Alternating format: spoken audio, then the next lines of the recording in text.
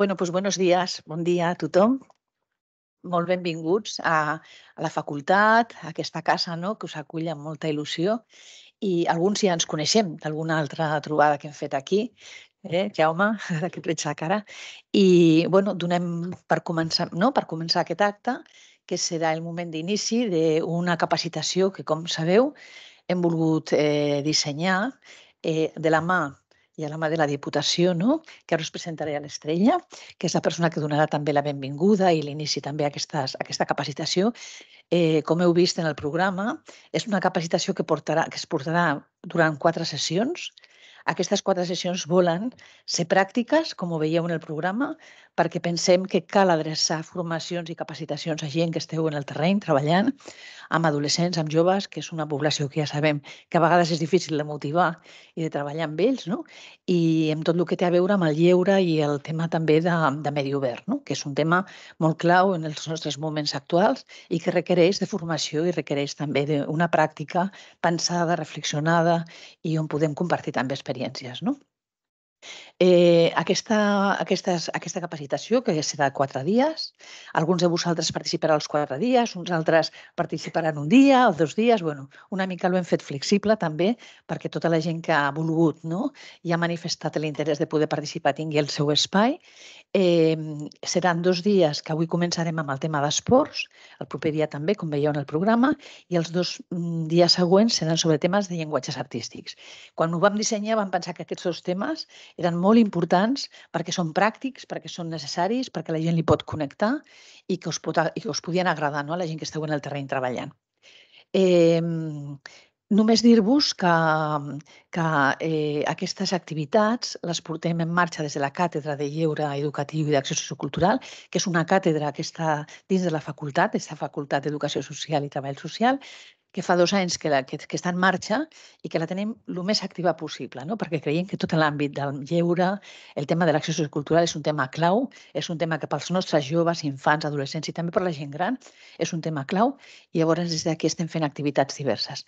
Amb aquestes activitats bueno, comptem amb un gran suport per part de la Diputació, en aquest cas us presento a l'Estrella Argüelles, que és la coordinadora de l'àrea de sostenibilitat social, cicle de vida i comunitat de la Diputació de Barcelona i que des d'aquesta institució tenim un gran suport no, per tirar endavant totes aquestes activitats que estem fent. Eh, per tant, dono la paraula a ella perquè faci la inauguració una miqueta d'aquestes sessions i bueno, ja anirem compartint. Després hi entrarà les persones que faran avui la formació i anirem fent junts una miqueta tots aquests quatre dies, totes les activitats que tenim previstes. Vale? Per tant, molt benvinguts i amb molta il·lusió de compartir aquests dies. Estrella, quan vulguis. Buenos días a todos y a todas. Eh, estoy muy contenta otra vez de volver a la Fundación Peratarres. Tenemos como un negociado entre ambas instituciones hace años y desde la Diputación intentamos colaborar con la Fundación sobre todo en aquello que es cursos de formación y capacitación para profesionales. En este caso hoy nos encontramos con un curso que han pensado eh, que además a mí me pareció que estaba muy logrado el tema, todo el tema del espacio abierto y adolescentes y jóvenes, un reto que tenemos por delante todos aquellos que impulsamos o que gestionamos políticas. Eh, vinculado al deporte y a las artes, que como sabéis son dos, eh, dos herramientas estupendas para temas de inclusión social, que además conectan muy bien con el colectivo adolescente y con el colectivo joven. Desde la Diputación de Barcelona, como os decía, impulsamos políticas en materia de políticas sociales, también en materia de políticas de cultura y sports. Podréis ver una de nuestras buenas prácticas uno de los proyectos que estamos desarrollando en los ayuntamientos de la mano de los compañeros de deportes que vendrán, me parece que la semana pasada, la semana que viene, ¿no? Y os podrán explicar, pero un poco nuestra idea, ¿cuál es? Nuestra idea es impulsar desde la Diputación entidades sociales, eh, entidades educativas o entes locales para que puedan poner en práctica políticas en el ámbito de las personas. En este caso nos centraríamos más en la adolescencia y la juventud, pero en el ámbito de todas las personas. Para nosotros es fundamental ahora mismo eh, establecer actividades, proyectos que, se, que vayan en dirección hacia los adolescentes y los jóvenes. Primero porque están viviendo una situación complicada. Lo sabéis que tenemos un índice de pobreza muy alto en Cataluña en materia de adolescencia y juventud. Uno de cada tres jóvenes menores de 18 años están en situación de riesgo. Eso nos hace poner el foco en esas políticas. Por otro lado, sabéis que después de la pandemia los jóvenes y los adolescentes han sido principalmente las personas que más malestar emocional han mostrado, que tenemos unos indicadores de malestar emocional muy altos. Y por otro lado, tenemos unos espacios públicos que seguramente no están diseñados con lógicas de adolescentes ni de jóvenes, espacios públicos en los que los jóvenes es donde les gusta estar, es donde su espacio natural, igual que los adolescentes, pero que no están pensados para ellos. Y que tenemos un gran reto que es convertirlo en infraestructuras sociales. Los espacios mm, mm, públicos espacios abiertos pueden llegar a ser buenas infraestructuras sociales, pero para ello hay que tener buenos proyectos y profesionales que sean capaces de trabajar en el espacio abierto, que no es lo mismo que trabajar en los espacios cerrados. Como todos sabéis, venimos de unas lógicas de hacer mucho trabajo interno, mucho trabajo en espacios como los casales, como no, espacios diseñados los clubs propiamente o las escuelas de danza o las escuelas de teatro. El reto en el espacio público es, pues ya lo dice la palabra, es más complejo. Por eso yo creo que está muy bien ¿no? que desde las instituciones educativas, como en este caso la cátedra, se impulsen formaciones para trabajar en estos medios. Porque creo que es donde están ellos y ellas, creo que es donde es más fácil encontrarlos en sus dinámicas diarias y en sus maneras de hacer y que los profesionales nos podamos aproximar a ellos con esa lógica, creo que es muy interesante y que puede dar buenos resultados. Bueno, mm, yo os invito a que miréis, si queréis, en algún momento la página web de la Diputación. Veréis sobre todo por lo que os interesa en este curso, los programas que tiene deportes y los programas que tenemos con cultura también y con, y con el ámbito de servicios sociales y de juventud, adolescencia e infancia.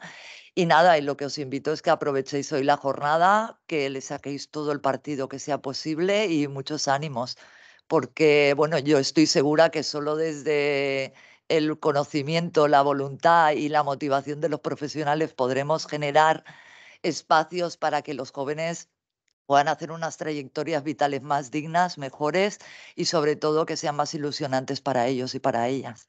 Muchas gracias y disfrutar de la jornada.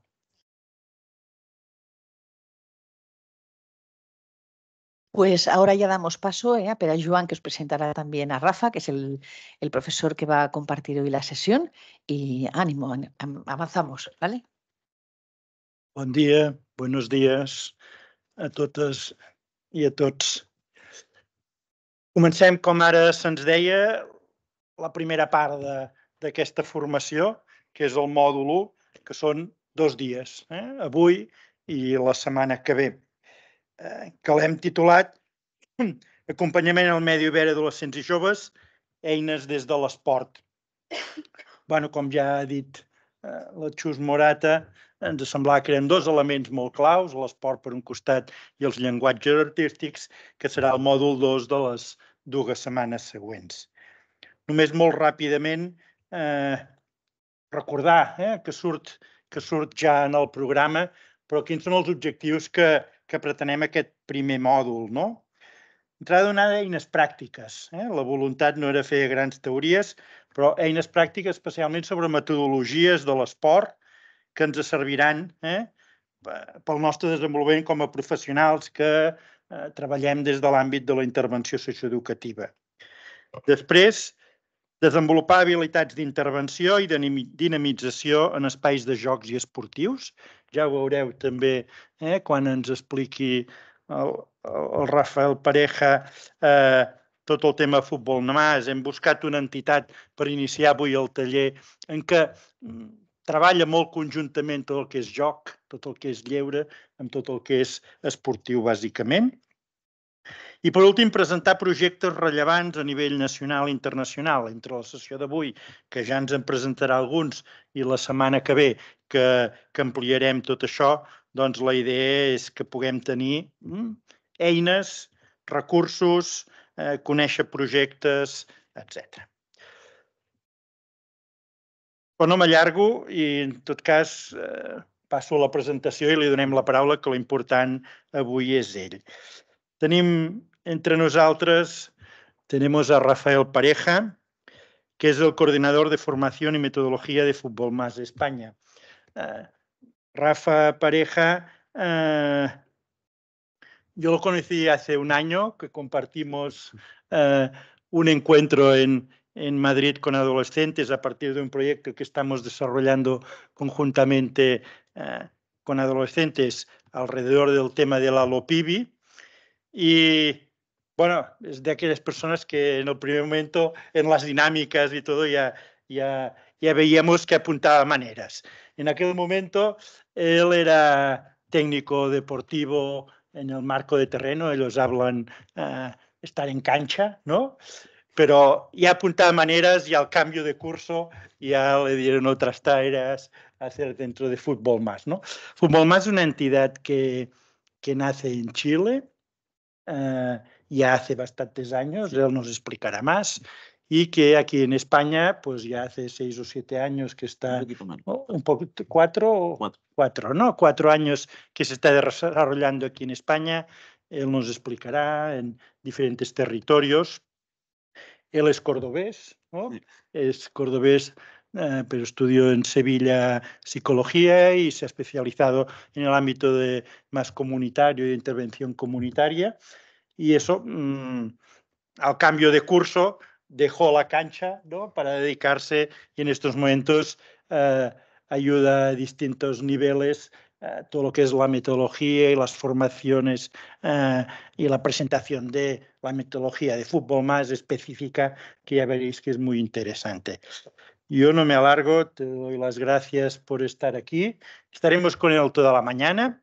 Le hemos pedido que de entrada nos haga una presentación de Fútbol Más, de su metodología y algunos proyectos de éxito que tienen. Después haremos el descanso y en la segunda parte nos trasladaremos al patio y continuaremos con un taller un poco más práctico. Bueno, por lo que nos explicaba, haremos una sesión, ¿no? Sí. Uh, como la hacen ellos con los chicos y chicas y seguro que será muy interesante. Exactamente, pues, pero Joan, pues... Pues Rafa, te Bueno, nada, daros las gracias a todos y a todas por, por venir hoy aquí. Muchas gracias a Pere Joan por esa fantástica presentación. Ya no tengo que hacerla yo, que siempre da un poco de vergüenza presentarse a uno mismo. Y nada, también muchas gracias a Estrella y a Chus y a Alex por organizar todo este evento. Eh, nada, simplemente deciros que para mí lo más importante de hoy es que tengamos una clase muy participativa, interactiva, que podamos sentirnos también un poco como niños y como niñas con, con, las personas con las que trabajamos y que esto sea muy ameno, ¿vale? Que podáis interrumpirme en cualquier momento, cualquier pregunta que tengáis, que queráis hacer, si hay un tema en el que queréis profundizar, que sentiros libres de hacerlo, ¿vale? Y, y nada, vamos a empezar, ¿no? Perfecto. Bueno, no me voy a extender mucho con mi presentación de nuevo, ya lo ha hecho, ya lo ha hecho Pere Joan pero como bien dice, yo empecé en terreno hace un año y medio en Fútbol Más y ahora ya me dedico a la parte de metodología y de formaciones. Llevo, empecé en el proyecto Deporte por Refugio, que es un proyecto del que después os contaré un poquito más, sobre todo si os interesa, eh, de la ciudad de Sevilla. Y es un proyecto colaborativo en el que participan CEAR, la Comisión Española de Ayuda al Refugiado, la Fundación del Real Betis y nosotros como entidad social. Tiene un modelo así como de, triple colaboración que es muy interesante, luego lo contaré. Pero bueno, lo primero que me gustaría hacer es empezar con dinámicas. Como ya os he dicho, ¿vale? Hoy creo que lo que vamos a hacer sobre todo es aprender a través del juego.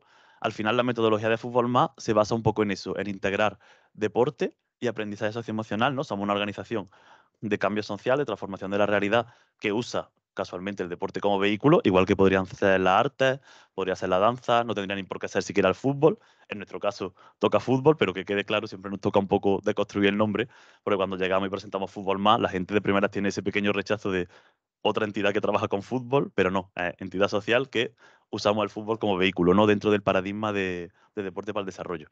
Entonces, bueno, lo primero que me gustaría es que hiciéramos una presentación. Como somos muchas, en vez de hacerlo cada uno y presentarse una a una, me gustaría que por pareja os fuerais presentando y contaros un poquito estas cosas. Vuestro nombre, la profesión, de dónde sois, grupo de música favorito, el deporte y algo positivo sobre vosotras mismas. ¿Vale? Así que si os parece, buscad una pareja y vais contando esto. Dejamos un par de minutitos y hacemos eso, ¿vale? Venga, por ahí también, Pere, Joan y Alex también lo tenéis que hacer. si alguien no tiene pareja, se puede poner en grupito de tres.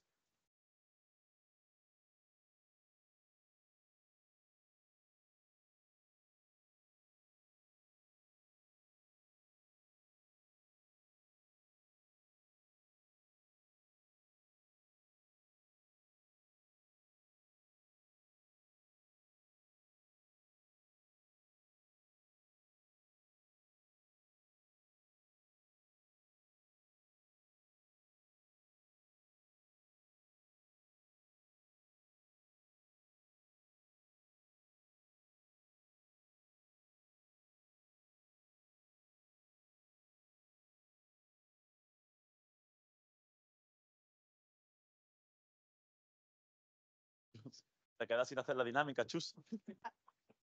No, no pasa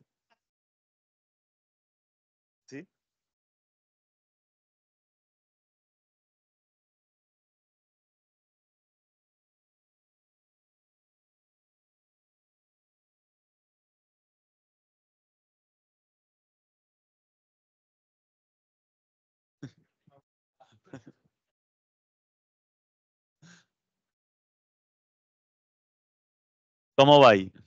¿La vamos teniendo?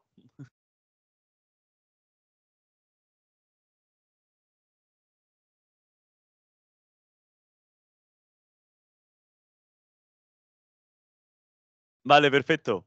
¿Habéis podido presentaros más o menos? ¿Habéis tenido tiempo? Vale. Alex, ¿te importa pasarme el balón?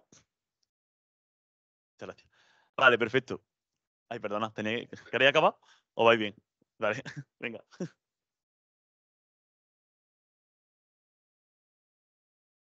Vale, genial.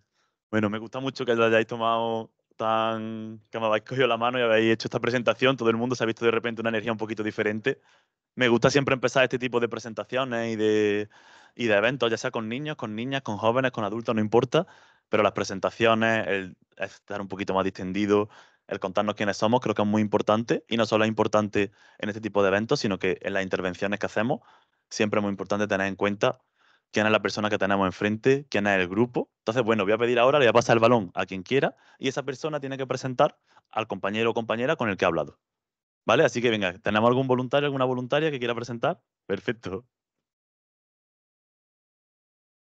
¿Catalán o entiendes? ¿Seguro? Bueno, no pasa nada. Ya está, ¿no? Em, nada, en castellano está bien, no, no te preocupes. Vale, vale. Él, él es Marc, estudió Ciencias de la Actividad Física y el Deporte, Marc Blanc, el apellido. Bueno, en francés, Blanche, ¿no? Hemos dicho. Eh, profesión, estudios, estudió esta, Ciencias de la Actividad Física y el Deporte. Es, está, está trabajando en la Diputación de Barcelona en el área de juventud y es de la Mella del Vallès. Es, me ha dicho que el grupo, su grupo favorito, em, no hay grupo, es decir, le gusta un género musical o unos, gen, o sea, mm, reggaetón y, y tecno. Bueno, eh, deportes, eh, fútbol y algo positivo que es muy extrovertido y amigable.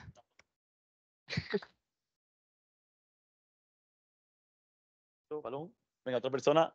Venga, pásalo tú. ¿A otra persona que quiera presentar? ¿Hace falta el micro? A ver si si te escucha bien. ¿La escucháis bien? Vale, perfecto.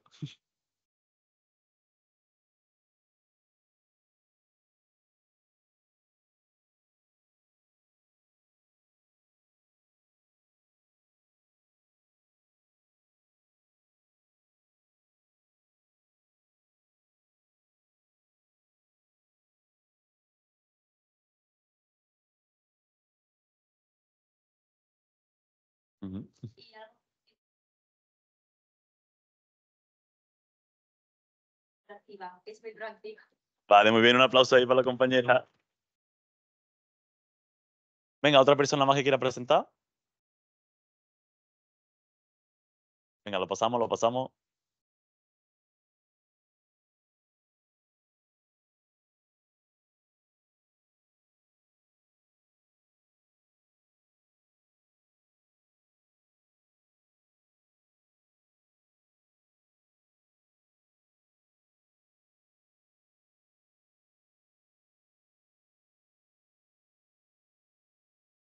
Vale, perfecto.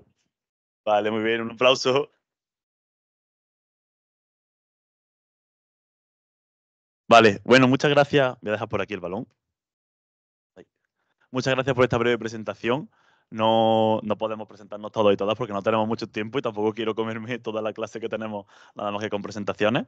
Pero os quería lanzar una pregunta aquí. De todas estas cuestiones, ¿cuál creéis que es la más importante a la hora de habernos presentado? Me quito de aquí para que la podáis ver toda. Allí. ¿Algo positivo? ¿Alguien más está de acuerdo con el compañero? Vale, ¿alguien tiene alguna otra respuesta? Bien, desde Fútbol Más, para mí hay dos cosas muy importantes. La primera y más obvia es la de algo positivo sobre sí mismo, sobre sí misma. Siempre que hacemos una intervención con niños y con niñas, nos encontramos que esta es una parte bastante complicada, sobre todo cuando trabajamos, nosotros nos dedicamos a trabajar en barrios vulnerables, de Sevilla, de Madrid y con familias en País Vasco. Y, siempre cuesta, ¿no? Siempre cuesta sacar esa parte positiva y es la primera forma que tenemos de introducir un poquito esas temáticas sociales a través de un juego, de una presentación. Si os fijáis, la parte del nombre, la parte de la profesión, grupo de música, son pequeñas excusas para ir generando esa cohesión grupal, pero luego vamos a sacar un poquito el tema de la autoestima en este caso. Y por otro lado, súper importante para mí también, la de dónde soy. En este caso, muchos compartir zonas, pero nosotros trabajamos con contextos de niños vulnerables y niños también que son refugiados. Entonces, bueno, el tener en cuenta ese contexto sociocultural del que vienen y ponerlo en primer lugar a la hora de trabajar con niños y con niñas a través del deporte es muy importante. ¿Y por qué justo el tema del deporte es tan importante dentro de, del contexto sociocultural? Porque es una herramienta que venga de la parte que venga del mundo, se entiende. Nosotros nada más que con un balón y pasando un balón y jugando a un juego, nos podemos entender con gente con la que ni siquiera compartamos un lenguaje. A nosotros nos pasó hace poco, hicimos una actividad en un congreso en Madrid en la que explicamos un juego, el congreso era en inglés y lo explicamos en español entero. Solo que era un juego a través del deporte, del movimiento y se explicó perfectamente y todo el mundo pudo jugar. Entonces realmente lo que hacemos con el deporte es generar este espacio de, oye, te estoy dando la oportunidad de que puedas jugar con personas a las que a lo mejor no podría tener una relación con ellas si no fuera porque no tenemos de por medio un balón, no tenemos de por medio un juego o una actividad que se base sobre todo en eso. Vale, ahora antes de continuar os quería pedir otra segunda cosita y luego ya empezamos con lo que sería una presentación un poquito más magistral y más típica. Pero iba a pedir que cerréis los ojos y que hagamos una breve visualización. Vale, así que voy a pedir que poquito a poco cerréis los ojos durante unos breves momentos. Vale, perfecto. Y ahora quiero que vayáis recordando y, volváis hacia unos años atrás, cuando erais niños y cuando erais niñas. Quiero que penséis en algún momento de vuestra infancia. Pensad en el lugar en el que estabais, los amigos con los que os juntabais, y quiero que os vayáis a un momento en el que estuvierais jugando. Puede ser que fuera el recreo, puede que fuera la plaza, las calles de vuestro barrio, puede que fuera en el campo y recordad con quién estabais en esos momentos. Ese amigo esa amiga con la que siempre pasabais la tarde de verano. Y pensad cómo sentíais, a qué jugabais. Y ahora, poquito a poco, quiero que vayáis abriendo los ojos de nuevo. Os he dicho que iba a ser muy breve. Y ahora os quería preguntar simplemente eh, si alguien quiere compartir en qué ha pensado. ¿Cómo se ha sentido? ¿En qué persona? ¿Cómo se llamaban? ¿Qué sitio ha visualizado? ¿Alguien quiere compartir? Venga, ¿quién se atreve? Ahí, por ahí. Como quiera.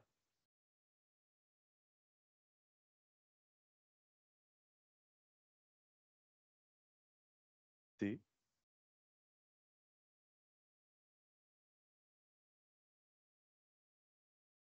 Jugando juegos de agua. ¿Y te ha acordado de alguna amiga en especial, de alguna amiga?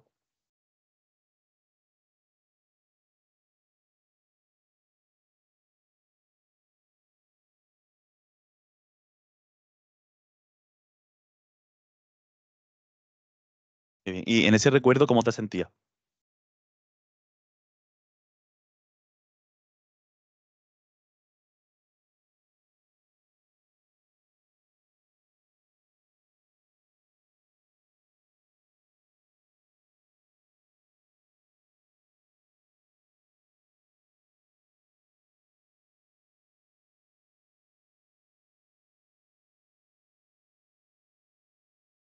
Perfecto, un aplauso para la compañera, por favor, por haber compartido. Y, mm, vale, ¿otra persona? Venga, por allí, por esta zona. Ahí.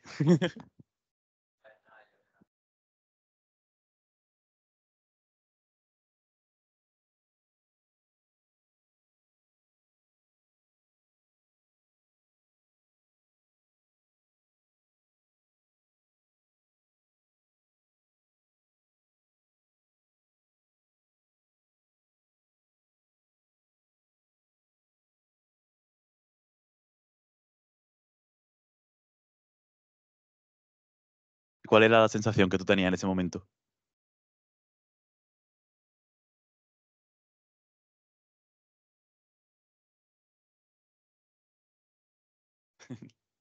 Vale, me gusta mucho lo que han comentado ahora las dos compañeras.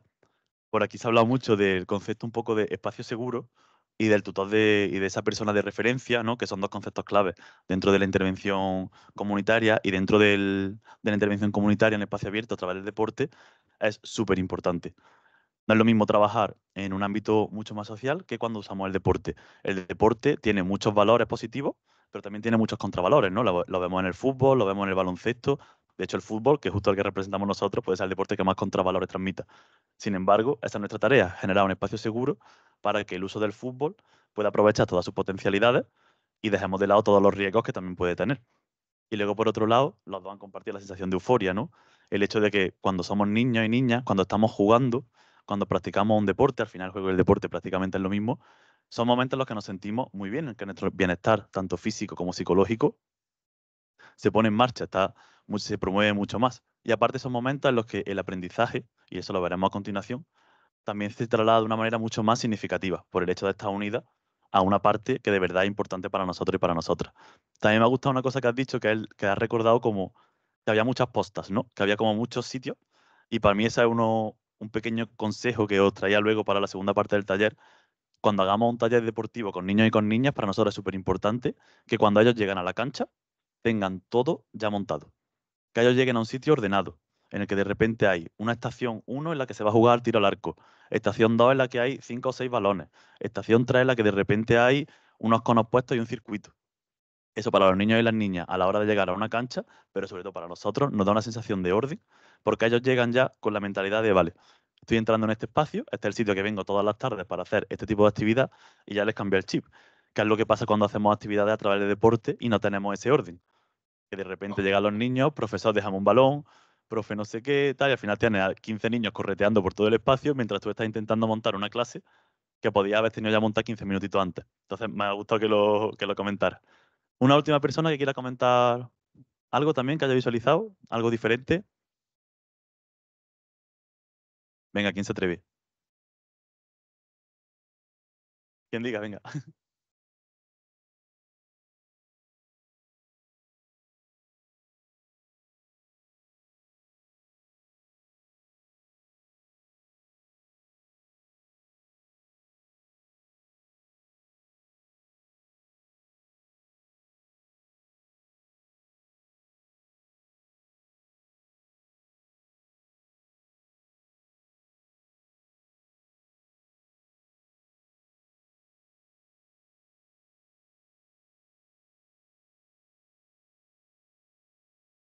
Exactamente. O sea, yo también he jugado baloncesto toda mi vida y creo que es un deporte que transmite un poquito más valores que el fútbol realmente, o por lo menos está un poco menos viciado. Pero también he tenido entrenadores y ejemplos de personas que no, eran para nada referentes. Pero sí, como dice la compañera, ¿no? El deporte puede ser un auténtico transmisor de valores y, y un método realmente de educación no formal, que eso es lo que nos vamos a centrar hoy, en cómo conseguir educar y añadir contenidos socioemocionales a, a un contenido deportivo. Cómo unir esas dos partes para que los niños y las niñas, mientras están jugando, estén aprendiendo, pero no haciendo las cosas por separado, sino que lo que yo quiero aportar hoy es esa parte de la metodología de fútbol más, que creo que es la clave, que es cómo unimos deporte y habilidades socioemocionales sin necesidad de separar unas de otras. Bueno, aquí venían un poquito las dos claves de por qué quería hacer esta visualización, ¿no?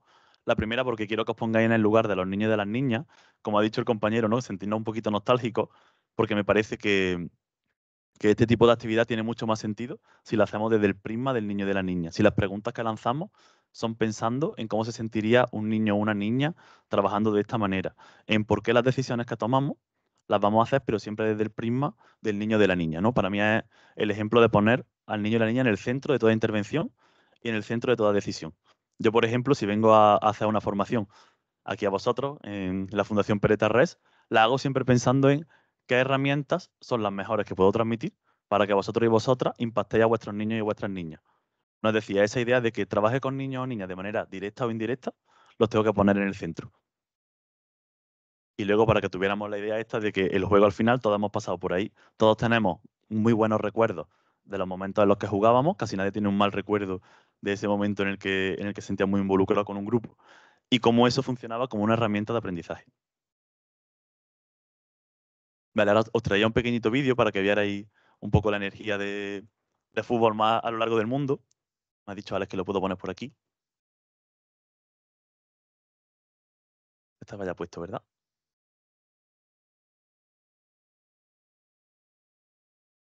Nada, dura muy poquito, pero simplemente para que tengamos esa energía también al empezar la presentación.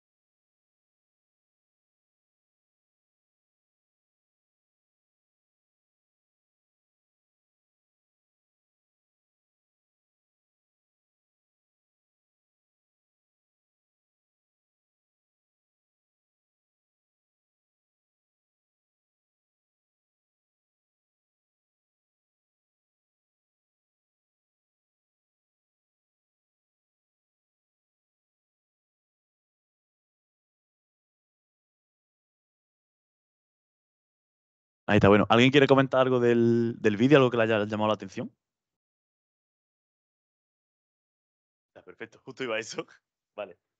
Aquí tengo nuestras dos herramientas metodológicas por excelencia, ¿vale? La tarjeta verde y la tarjeta azul.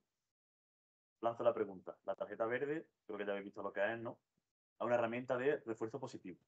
¿no? En el fútbol hay dos tipos de tarjetas, ¿no? Y ya la roja. ¿Alguien me dice qué significa? ¿Perdón? ¿Todo mal? ¿Una falta y una expulsión?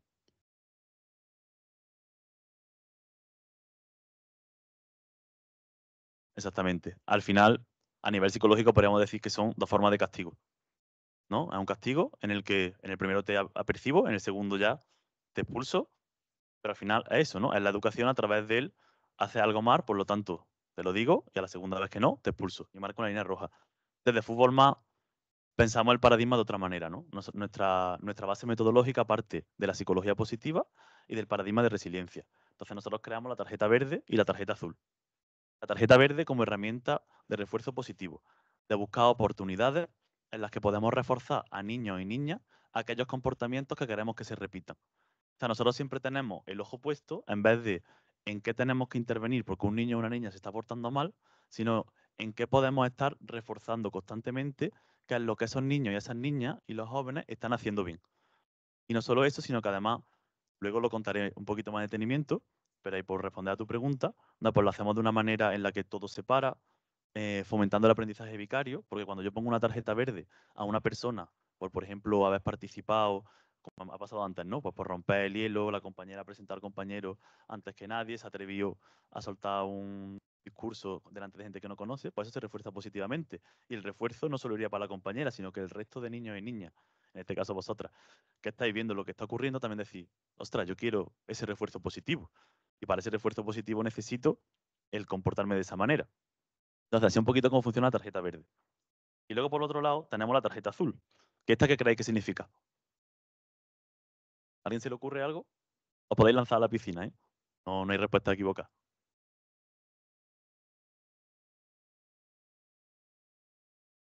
Tarjeta colectiva. Puede serlo, pero es individual o colectiva. ¿Para qué creéis que sirve? ¿Cuándo creéis que la podemos sacar?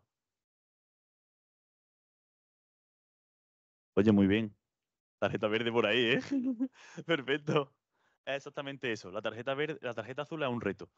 Busca modificar conductas que no queremos que ocurran, pero de una manera positiva, lanzando un reto a la persona. Por eso te decía que puede ser grupal o individual. Cuando hay una mala conducta de una persona concreta, la sacamos de manera individual. No queremos que el grupo entero sepa que ese niño o esa niña está siendo retado por algo que no ha hecho bien.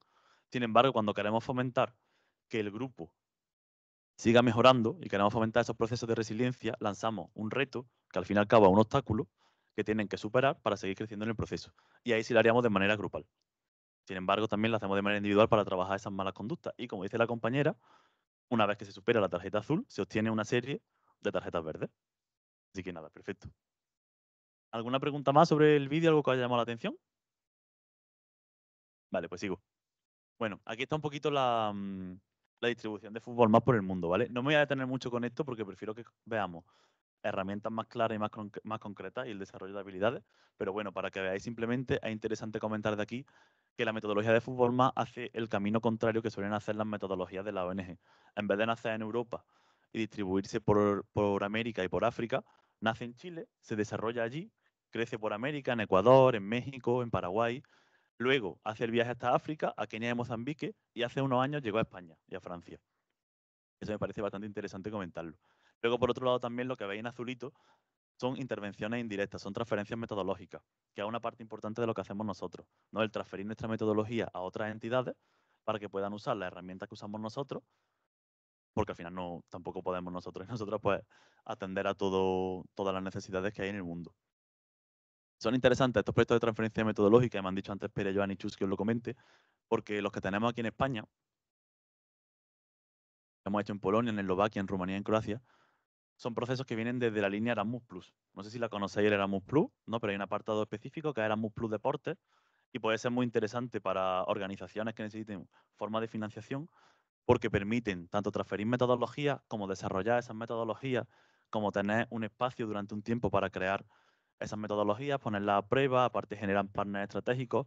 Es muy interesante y desde Fútbol Más, parte de nuestra financiación viene concretamente de ese tipo de proyectos que nos hacen crecer y por otro lado también nos permiten transmitir un poco nuestra forma de entender la intervención social a través del deporte. Sí, de Erasmus Plus. Sí, los que son de transferencia metodológica o de creación de otras metodologías, ¿no? Por ejemplo, ahora estamos haciendo uno que se llama X Champions, de generación de una metodología para trabajar nuevas masculinidades en el deporte. En ese no transferimos nosotros, sino que co-creamos con otras entidades que también tienen experiencia en eso. Es una línea muy interesante, por eso viene apuntado por Chus, que os la dejo por aquí, para si luego también queréis comentarla o tal, pero puede servir. Y luego, bueno, por otro lado, en España, pues tenemos nuestros, nuestros tres proyectos principales, en Sevilla, en Madrid en País Vasco, y una transferencia metodológica que hicimos en Melilla con Save the Children. Entonces allí el equipo de Save the Children han estado haciendo actividades sociodeportivas y yo me fui allí durante un tiempo para hacer la formación y ellos ya están generando sus propias actividades, pero basadas en nuestra metodología, con la tarjeta verde y la tarjeta azul. Aquí un poco números de impacto, ¿no? Los niños y niñas que hemos llegado en 2023, los países en los que hemos estado, las regiones, los clubes con los que tenemos alianza y el impacto en redes sociales. Bueno. Y por aquí había un poquito una línea de alianzas a nivel internacional, de premios obtenidos y de los contextos en los que intervenimos. Esto es mucho más de la realidad de Chile que de la realidad española, en el sentido de que allí, al bueno, y no solo de Chile, sino a nivel internacional, ¿no? Porque hay intervenciones que son desde el barrio, que van muy acorde a lo que estamos trabajando hoy aquí, porque son intervenciones que se hacen en canchas públicas, en canchas sociales. Así es como nace Fútbol Más. En las canchas de barrio, allí en Chile hay muchas canchitas pequeñitas, situadas en los barrios más vulnerables, y ahí es donde Fútbol Más se iba insertando cuando empezó su camino. Llegaban a la cancha, poco a poco iban eh, cogiendo el espacio, hablando con los líderes de barrio, con los niños de allí y generando actividades.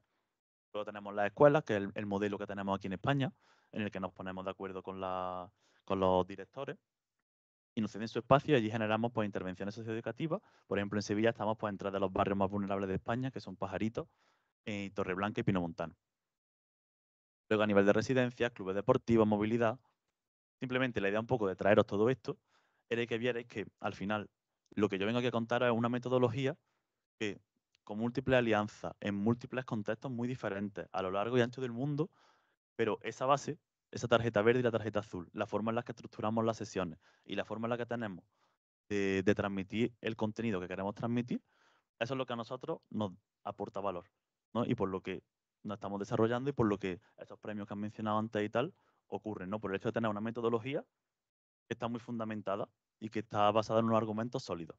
Creo que es muy importante esa parte porque a la hora de trabajar a través del deporte no siempre se tiene una metodología o no siempre se tiene una idea de cómo hacer las cosas, sino simplemente damos un espacio para el juego. Que ojo, súper importante que los niños y niñas tengan un espacio para jugar y el mero hecho de que lo tengan a no tenerlo es una intervención en sí misma.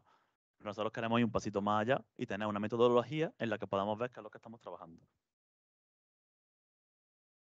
Entonces, bueno, aquí aparece un poquito ¿no? el concepto de espacio protegido, de espacio seguro, que es un poco lo que hacemos nosotros y nosotras, ¿no? Que generar esos espacios protegidos para la infancia y, promover el bienestar físico y psicológico de niños, niñas y jóvenes. Vale. Antes de eso, te me olvido, os quería lanzar una pregunta. ¿Qué es para vosotros y para vosotros un espacio seguro? ¿Quién se atrevería con una definición?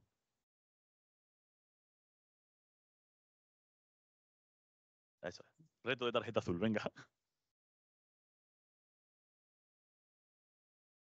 Perfecto. Donde puedes ser tú mismo o tú misma. Vale. ¿Quién complementa la definición con algunas características de un espacio seguro? Ay, perdón. Primero por allí la compañera. Libre de violencia. De confianza. Vale, un espacio en el que no te vas a sentir juzgado un espacio de desarrollo personal, de respeto. Perfecto. Yo quería traer aquí también que para nosotros un espacio seguro tiene en cuenta todas esas cualidades y se distribuyen en varias dimensiones, ¿no? Siempre tenemos muchas veces la idea de que el espacio seguro es simplemente el sitio en el que estamos o en todo caso el sitio y lo que ocurre con, y el vínculo con el profesor con la profesora. Para nosotros tiene estas cuatro dimensiones, que son la física, obviamente es súper importante, sobre todo cuando vamos a trabajar en espacios al aire libre que son públicos. Porque cuando yo llego a un espacio aire libre que es público, yo no sé cómo va a estar ese espacio. Y yo no quiero entrar en un sitio con niños y con niñas en el que el espacio pueda estar muy sucio, pueda tener cosas que esos niños y esas niñas no deban ver, puede que haya gente alrededor con los que en principio no queramos que tengan trato o no vayan a comportarse como deben comportarse. Luego tenemos el ámbito emocional, que es lo que estabais hablando vosotros, ¿no? Un sitio en el que me sienta yo mismo, no me sienta juzgado, me sienta con confianza, pueda expresarme como soy. Luego una parte que para mí es clave, que es sociocultural, ¿no? el, entender ese contexto y el respeto a la diferencia, y no solo el respeto a la diferencia, sino lo que supone enriquecerse en base a los diferentes contextos de las personas con las que vamos a trabajar. Y eso el deporte lo hace súper bien. El deporte está lleno de referentes, tanto chicos como chicas, que siendo de diferentes contextos culturales, podemos nosotros usarlas como ejemplo para que niños y niñas entiendan que la diversidad es algo para enriquecernos y no algo a lo que haya que tener miedo. Y luego la parte política, que muchas veces se nos olvida mencionarlo, pero obviamente los protocolos de protección a la infancia, algo súper clave dentro de un espacio seguro, las normas que tenemos nosotros, pero ya como, como entidad, las líneas rojas que marcamos, los principios con los que trabajamos, entonces, bueno, para nosotros este es un poquito como el, compendio de un espacio seguro. Y lo que intentamos hacer al principio de todas nuestras intervenciones, antes de empezar a trabajar ningún otro contenido socioemocional, es el de generar este tipo de espacios. No, no podemos, o nosotros creemos que no se puede empezar a trabajar con niños y con niñas y con jóvenes antes de no tener este tipo de espacios. Porque si yo quiero proponer una dinámica a través del deporte en la que niños y niñas se vayan a dar a conocer, pero no se sienten emocionalmente seguros, no lo van a hacer. Si el espacio no es físicamente, no es seguro, ese niño y esa niña puede ser que no vuelva a la intervención antes incluso de que empecemos a trabajar con ellos. Si no se respetan socioculturalmente o si las normas no son claras, también puede ocurrir. Entonces, por eso empezábamos un poquito con esta idea ¿no? de la creación de espacios seguros. ¿Alguien quiere comentar algo de lo anterior, de espacio seguro? Vale, pues continúo. esto es súper breve, pero ¿conocéis el paradigma del deporte para el desarrollo? Bueno, el deporte para el desarrollo es un poco un paradigma eh, que complementa el deporte tradicional, pero que se diferencia en algunas cositas, ¿no? Aunque aquí aparece como compartimentos estancos, luego para mí no lo son tanto y creo que, nada lo es, sino que en realidad hay parte de lo que viene aquí como deporte para el desarrollo que también tendría el deporte tradicional y todo va a depender un poco más de la forma en la que lo enfoquemos. Pero las claves del deporte para el desarrollo son las siguientes, ¿no? El objetivo se define en base a las necesidades sociales. El objetivo del deporte normalmente siempre es ganar, ¿no? Conseguir el éxito deportivo. En este caso no. En este caso el éxito es que yo consigo superar las necesidades sociales del grupo con el que trabajo. Los campeonatos son momentos de aprendizaje y lo que, lo que importa es el desarrollo de habilidades.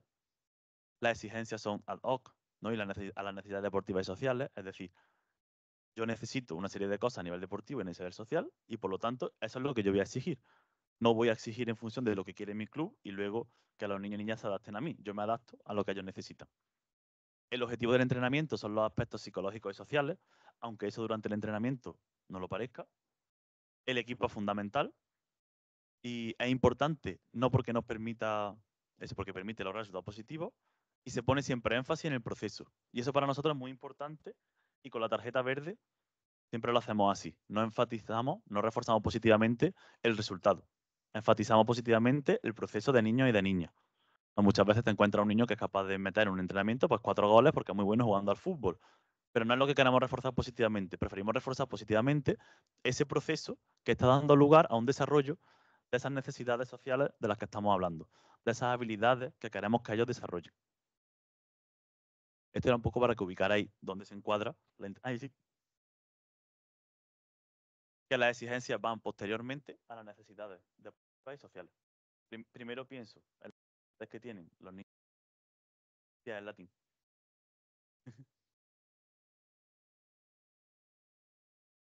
Aquí hay un pequeño vídeo de, una cancha de, Chile en la que se ve a los niños y niñas jugando y, y ahí la grada.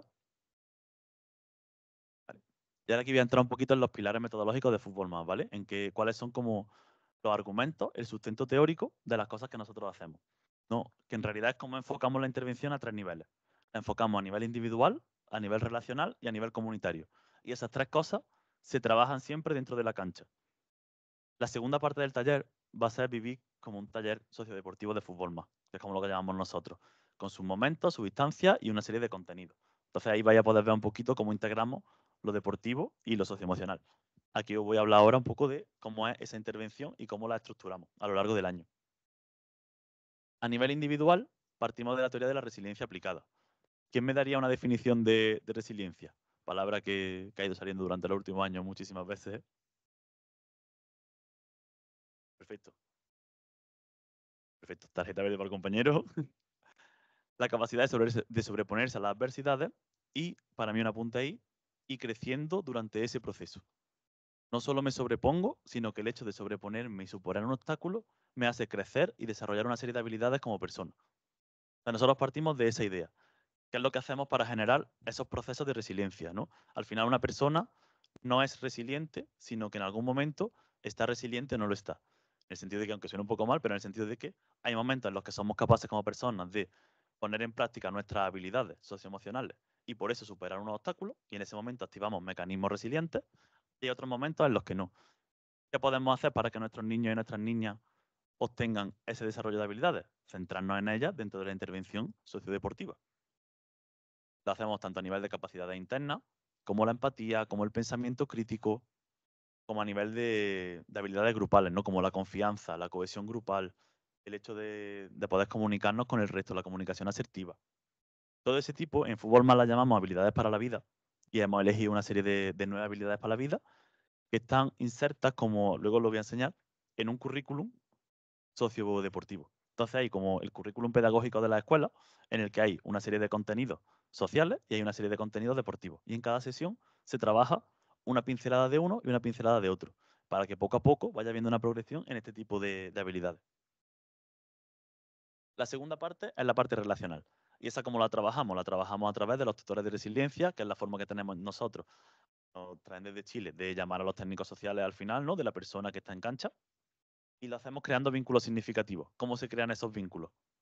Pues a través del buen trato, a través del refuerzo positivo, del no castigar, sino del hacerlo con la tarjeta azul, a través del reto, el estar muy pendiente de lo que niños y niñas quieren, el generar actividades que para ellos son interesantes, el no convencer desde la autoridad, sino desde la argumentación.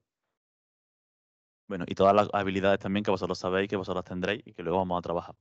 Y por último, nuestro tercer pilar, y súper importante, que es el ambiente facilitador, es esta cohesión comunitaria. ¿no?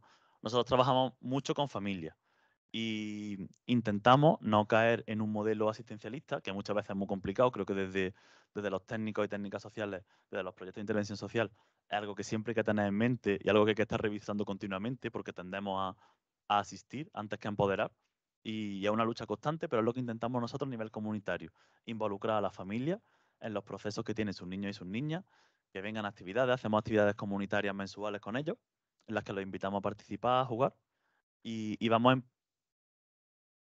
y vamos empoderando un poco esa, esa capacidad que tiene el barrio, que tiene la comunidad, de generar espacios para sus niños y para las niñas, sin necesidad de que nosotros como Fútbol Más o cualquier otra entidad tuviera que estar allí.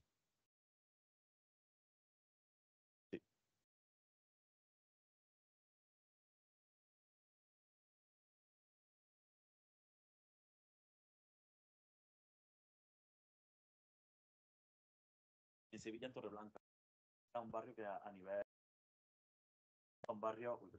son barrios bastante conflictivos, de hecho son como las 3.000 viviendas, lo que pasa es que bueno, las 3.000 viviendas es el barrio que tiene un poco el foco y la fama a nivel de España, pero Torreblanca y Pajarita están igual o incluso peor por el hecho de que encima no tienen intervenciones comunitarias allí, sino que en 3.000 viviendas son acaparan un poquito como todo el, ese grueso y sin embargo el otro barrio no lo tienen.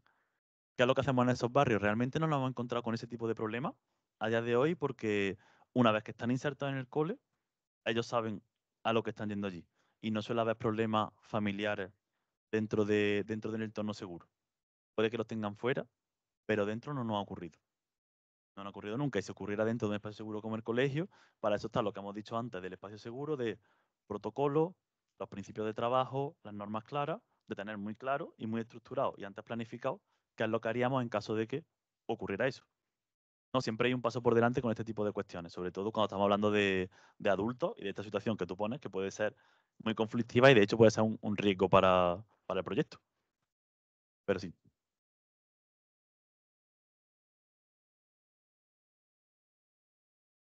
Exactamente. Suele pasar. Mm. Ahí normalmente suele pasar. Y, a ver, normalmente la verdad que las familias que acuden a este tipo de encuentros no suelen ser las familias que suelen tener ese tipo de conflicto, en realidad porque sus niños son los que más necesidades tienen y los tienen porque suelen estar en situación de abandono, porque realmente no están tan atendidos por la familia. Y en nuestros casos ocurre que esas familias directamente son familias un poco ausentes.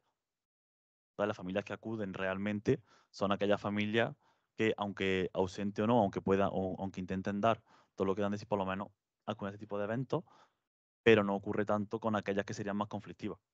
No, es muy complicado tener poder de convocatoria para una familia de estas características. Y normalmente cuando ha pasado, porque nosotros pues, en un evento que invitamos a un partido de fútbol, tal, algo así un poquito más, más interesante para ellos, porque ya es una cosa a la que no tienen tan fácil acceso, tienden a comportarse mucho más, porque ya otro tipo de, evento y a otro tipo de, recompensa. Pero sí, es lo que dice la compañera, que a nivel comunitario es muy complicado involucrar a este tipo de familia. ¿Alguna otra pregunta?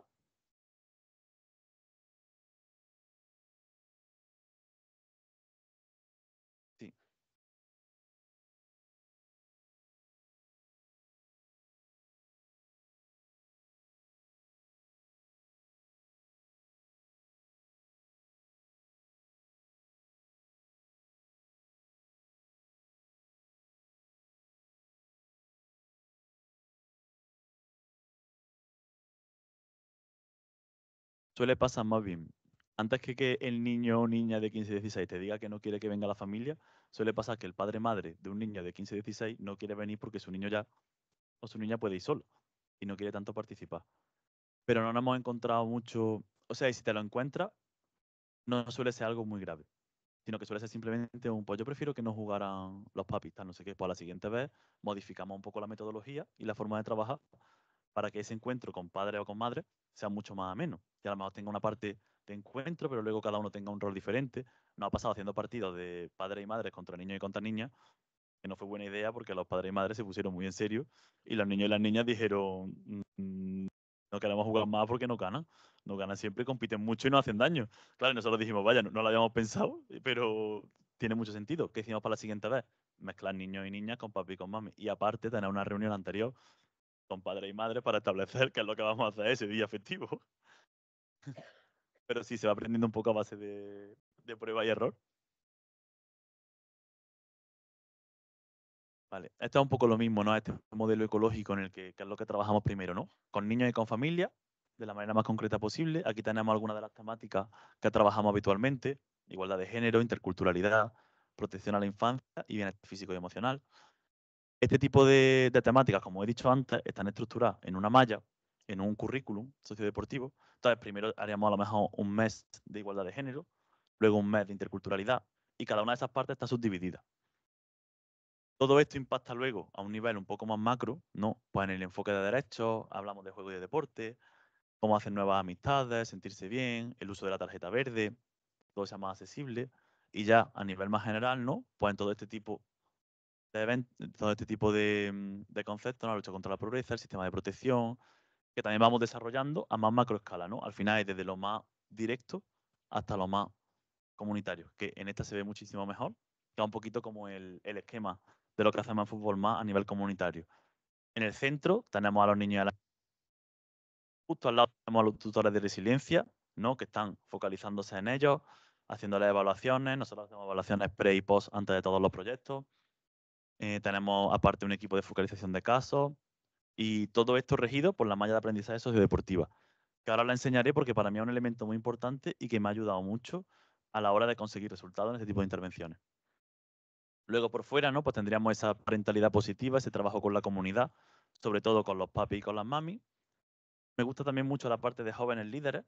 Ahí lo que hacemos es formar a nuestros niños y nuestras niñas que ya van creciendo un poquito más para que vayan siendo voluntarios, para que vayan siendo agentes de cambio dentro de su propio barrio. Con el objetivo final, esto ya ha ocurrido en Chile, que llevan ya 15 años, de tener personas que estuvieron aquí y han pasado a ser ya contratados de fútbol más, desde que a lo mejor tenían 10 años que empezaron en las actividades hasta que cumplieron 18 y tienen un rol ya de persona referente dentro del barrio, contratada por fútbol más y trabajando como técnica social. Ese es un poco como el objetivo final de este tipo de, actividad. Y luego, por la parte al final, ¿no? La asociatividad y el trabajo en red, que para nosotros también es clave y siempre hacemos muchísima promoción del trabajo en red. ¿no? Yo creo que es muy importante dentro de este mundo reducir un poco los egos muchas veces que, tenemos y el no querer compartir. No hay gente que no quiere compartir su metodología, no quiere contar cómo trabaja, mm, cuesta mucho generar esos vínculos, esas conexiones. Yo desde aquí siempre promuevo todo lo contrario. Todo lo que nos hemos encontrado cuando hemos colaborado es que hemos conseguido un efecto mucho más importante, duradero y un mayor impacto en nuestros niños y nuestras niñas. Veo cuando os cuente Deporte por Refugio, por ejemplo, es una colaboración total entre Fundación Betty, CEAR y, y Fútbol Más.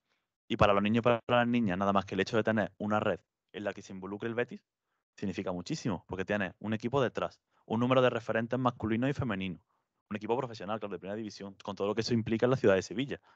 Pero luego nosotros a nivel organizacional, todas las puertas también que podemos tocar gracias a que el Betty está con nosotros, que es una entidad que a nivel deportivo significa mucho, también ayuda un montón. El hecho de tener a CEAR involucrado, focalizando casos y derivando a niños y niñas refugiados que lo necesitan, es también muy interesante. Entonces siempre venimos a, mm, a esa creación de redes, de, de redes, de redes.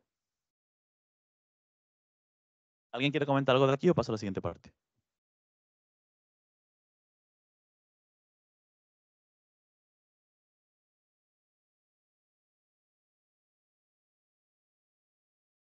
Normalmente eh, tenemos categorías.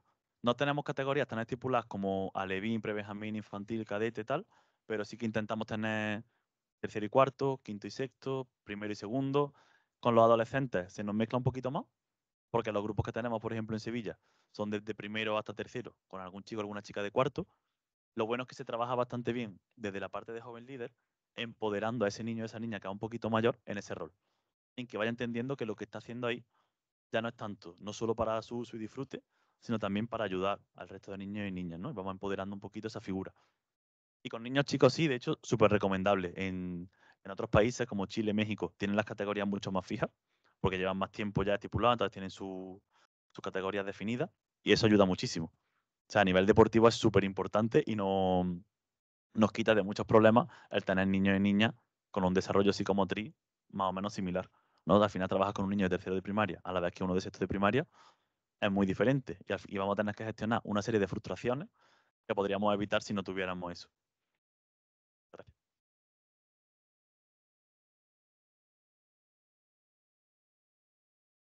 Sí, son todos mixtos. Menos en un proyecto que luego voy a presentar, que era un proyecto de género, pero sí, siempre tenemos grupos mixtos. No hay ninguno que sea de chico o de chica.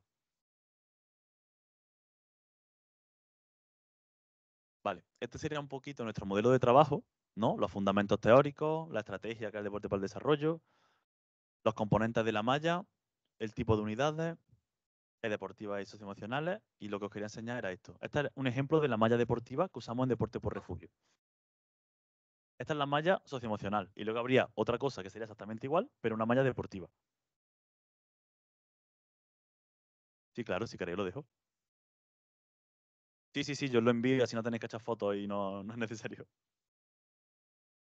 Por ejemplo, podemos ver en esta malla ¿no? que tenemos un, objetivo global, que es que los, niños, niñas y jóvenes se relacionan de una manera más asertiva con sus pares y con las demás personas de su comunidad escolar. Y ese es como nuestro objetivo global durante un tiempo. Eso lo subdividimos en una serie de unidades. Convivencia, equidad de género, interculturalidad, hábitos de vida y derecho a la infancia. Aquí tenemos aparte las habilidades para la vida, que esos son transversales a lo que vamos trabajando. Entonces, no solo trabajamos convivencia, sino que queremos que trabajen convivencia teniendo en cuenta el reconocimiento y la expresión de emociones. La autorregulación, la confianza, ¿no? Son estas habilidades que van a favorecer los procesos de resiliencia. Entonces, con esas tres cositas que tenemos ahí, convivencia, que comprenden la importancia de su participación en su equipo y que, por ejemplo, reconocen y expresan las emociones, sacamos un indicador de logro. El indicador de logro es lo que nos va a marcar lo que queremos hacer en una sesión. Yo me voy contento de una sesión y sé que he cumplido mi objetivo si ese indicador de logro se ha cumplido. En este caso sería, porque creo que no lo leéis bien, establecen las reglas de su categoría, equipo para el resto del año, comportamientos que vamos a buscar y las actitudes que vamos a evitar. Y generamos ritos de pertenencia. Y para eso tenemos tres sesiones. Yo dedico tres sesiones exclusivamente a eso. ¿Por qué creéis que dedico solamente tres sesiones exclusivamente a ese pequeño indicador? A que generen ritos, a que tengan a definir los comportamientos que vamos a buscar y a que establezcan sus propias reglas en realidad es un contenido muy pequeñito para tres sesiones. En la base. Pero hay una parte importante que es que nosotros trabajamos a través del deporte. Y junto con esto hay una malla también deportiva en la que a lo mejor estamos trabajando durante esos tres, tres, esas tres sesiones. Vamos a estar trabajando motricidad y locomoción. Saltos, carreras, por ejemplo, ¿no? La base también un poquito del deporte cuando trabajamos a través de deporte, nosotros nos hemos dado cuenta que necesitamos tener contenido muy sintetizado, muy concreto, que se trabaja a través de la repetición. Entonces yo voy a empezar todas mis sesiones hablando de esto y no me voy a salir de ahí. Voy a seguir hablando de esos ritos, de esa... Uy. esos ritos, de esa presencia, para asegurarme que son el indicador. Que no se cumple, seguiré repitiendo eh, este tipo de, habilidades socioemocionales hasta que pueda pasar al siguiente indicador. Esto luego lo vais a ver un poquito claro, pero nuestra idea es que si queremos que los niños y las niñas se sientan que están aprendiendo, pero que también se lo estén pasando bien, necesitamos integrar estos contenidos dentro del deporte, no al margen. Normalmente nosotros lo que hacemos son una serie de actividades en las que esos contenidos están integrados dentro de la actividad. A lo mejor hay que hacer un circuito y luego disparo a puerta. Pues en mitad de ese circuito y de ese disparo a puerta, una vez que metan el gol, si meten el gol, tienen que ir a una tarjeta verde a poner qué norma, qué comportamientos son los que buscamos. Y a lo mejor tienen que ir a una tarjeta azul a poner qué comportamientos no queremos que ocurran. dentro del mismo juego se incorpora ese tipo de contenido y luego con una breve reflexión después de cada juego van asimilándolo. Por eso el hecho de repetir tanto el contenido. Pero creemos que es mejor hacerlo de esta manera y de una manera mucho más sintetizada, pero que a los niños y las niñas de verdad lo interioricen y lo hagan a través de algo que para ellos tiene un sentido, que no el hecho de hacer una reflexión, contarles todo esto y luego dejarlos jugar un rato, ¿no? sino que la metodología siempre está 50-50, lo socioemocional y lo deportivo. ¿Ha quedado esto un poquito claro? Si alguien quiere comentar algo sobre esta herramienta. A mí me ayuda mucho, sobre todo porque cuando yo voy a diseñar una sesión, cojo, por ejemplo, el indicador número uno, el azulito este, y cojo el indicador número uno de la malla deportiva y digo, vale, como solo necesito que ocurra esto y que ocurra esto, voy generando juegos en base a eso. A que ocurra que se hable de autoestima por un lado y por otro lado disparo a puerta. Pues yo sé que toda la sesión va a ser para trabajar ese disparo a puerta y para trabajar esa autoestima con diferentes juegos que se van ahí concatenando, pero todo el rato repitiendo los mismos conceptos.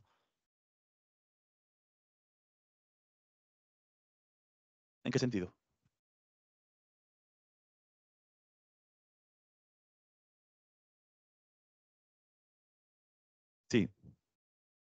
Sí, se van aumentando y normalmente, poquito a poco, vamos haciendo un poco recordatorio de todo lo que va- ha ido ocurriendo. Los niños y las niñas lo, van explicando a ellos de primeras cuando entra alguien nuevo, se lo van contando, ¿no? Ellos les cuentan lo que es la tarjeta verde, lo que es la tarjeta azul, cuáles son sus normas, porque el hecho de haberlo repetido tanto, lo tienen ya muy interiorizado. Entonces ellos sobre, y aparte, esa parte empoderante para ellos también, que es contarle al compañero o a la compañera nueva qué es lo que está ocurriendo en ese sitio, ¿no? Porque qué es lo que se hace en las clases de, de fútbol más. Entonces ellos se van encargando de eso y nosotros lo vamos reforzando, lo vamos recordando de vez en cuando. De una manera muy, como muy sutil, no, poco a poco, no vamos a estar ahora de repente repitiendo todo lo que ese niño no ha podido trabajar, pero sí podemos ir saliendo poquito a poco con él de vez en cuando, comentarle alguna cosita y en algún juego añadir este tipo de recordatorio para que lo tengan más claro y poquito a poco vayan cogiendo el ritmo del grupo.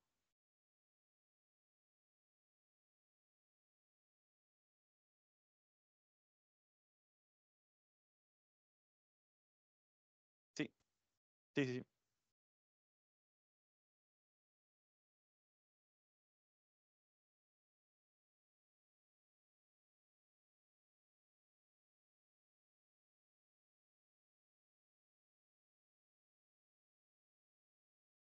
Yo creo que no, porque al final para mí, o sea, lo importante de esto, más que lo que es,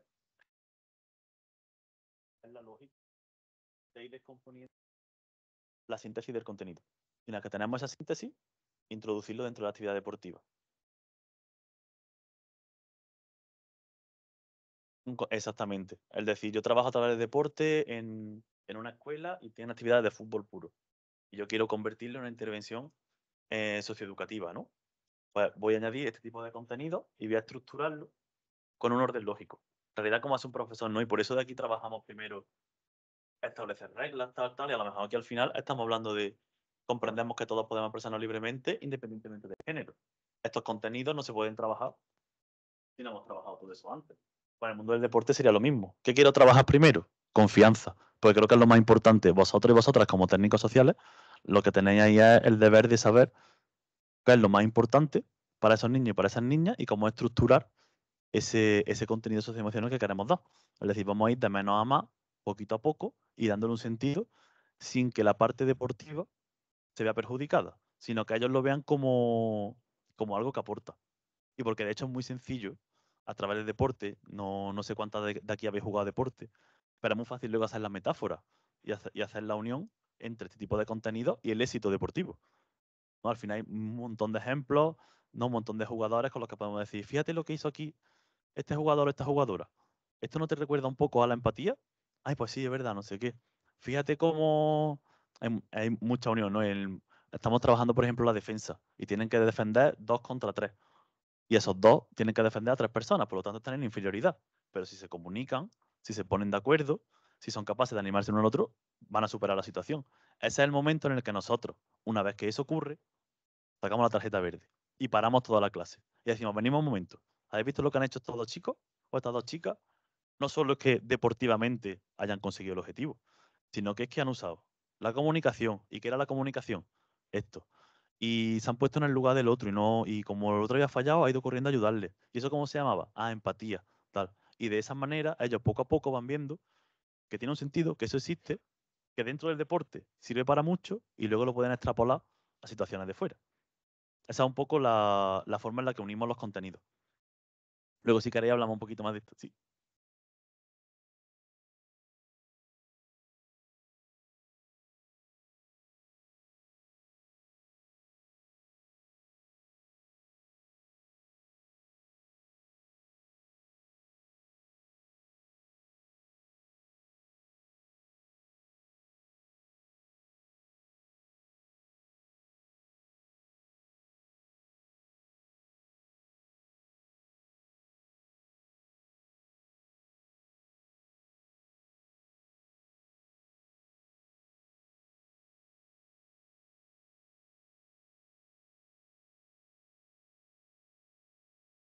Totalmente.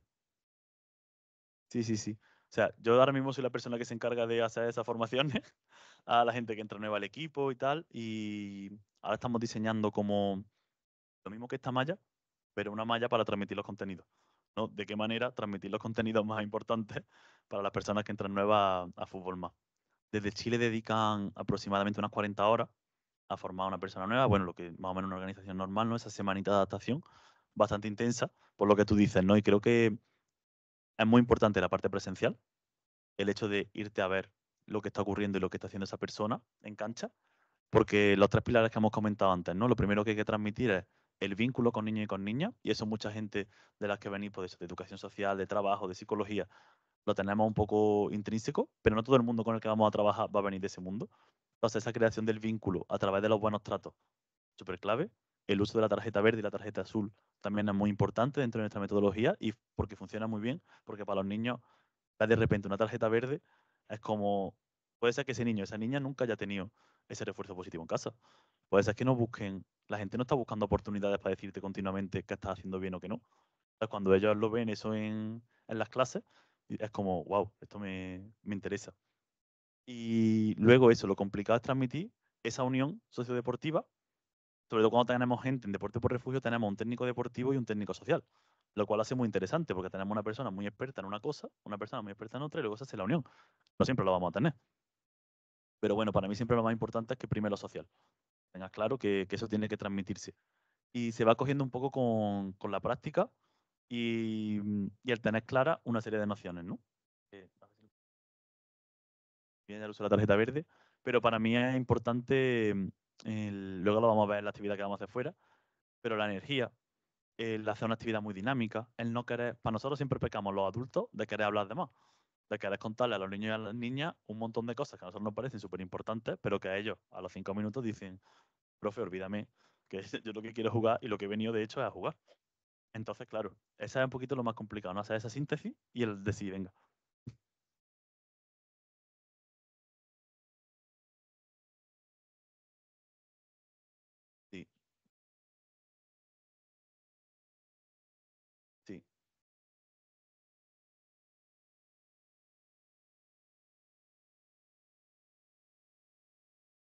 Nosotros siempre tenemos dos personas, trabajamos en dupla, dupla sociodeportiva y son con grupos de 15 aproximadamente.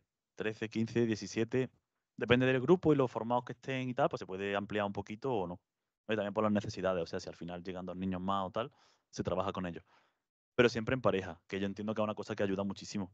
O sea, que no, en todas las organizaciones se puede trabajar con dos personas por 15 niños y, y ayuda mucho a poder focalizar los casos, porque mientras una persona está teniendo el grupo entero, otra persona puede salir fuera con la persona que está causando un conflicto, que tiene un problema. Em, aparte de eso, en deporte por refugio, el hecho de que sea deportivo y social ayuda mucho a vincular con uno con otro seguro. También intentamos que las parejas sean mid, que haya un chico y que haya una chica. Nosotros la organización somos todos eso del mundo de la psicología, del trabajo, de la educación social, prácticamente alguna persona que, es profe también, que viene de magisterio, con especialidad en educación física, pero casi todos venimos de ese mundo. Y la, bueno, y justo en el concreto de Sevilla, sí. Hay, hay una parte de la formación que es, es breve, es breve, porque es que nuestra parte realmente, o sea, al final, no olvidemos que es un proyecto de intervención social. Entonces, lo más importante es que tengamos esa base. Luego la parte futbolística se añade y si la persona que entra nueva, por lo que sea, no tiene ni idea de fútbol, a la hora de diseñar, no pasa nada que tiene un equipo detrás que pueda ayudarle a diseñar ese tipo de actividad con añadiendo lo, deportivo. Pero normalmente también se busca un poco ese conocimiento. Aunque no sea un conocimiento tan, tan formal, en el sentido de que no hace falta que haya hecho psicología del deporte, que haya hecho INEF en concreto, pero que si tiene este tipo de formación, se ha jugado mucho tiempo tal, nos interesa mucho ese perfil. Pero ocurre, ¿eh? ocurre que en nuestro equipo tenemos gente que no ha cogido un balón en su vida y no pasa nada. Son perfectas técnicas sociodeportivas. Lo que pasa que eso, hay que, hay que hacer ese apoyo por otro lado. Nosotros tenemos un módulo dentro de la formación de fútbol, pero fútbol super base. Nada para aprender cómo generar, es lo que había preguntado la compañera, cómo hacer este tipo de actividades, ¿no? Entonces va un poco de las habilidades más básicas del fútbol, que es la locomoción, el pase, el tiro, ataque, defensa, pero todo a nivel muy básico y luego poquito a poco te vas formando. Y vas aprendiendo un poco, viendo... ¿Alguien tiene alguna otra duda? Pues nada, bueno, esto es lo que he contado un poquito antes de, de la tarjeta verde. ¿no? Es una, una filosofía pedagógica, no expulsa, no castiga, no amonesta, sino que todo lo contrario. Recompensamos y promovemos comportamientos. ¿no? Esta es la esencia un poco de la tarjeta verde. Y, y lo que os he dicho antes, ¿no? Cuando sacamos tarjeta verde, intentamos que todo se pare.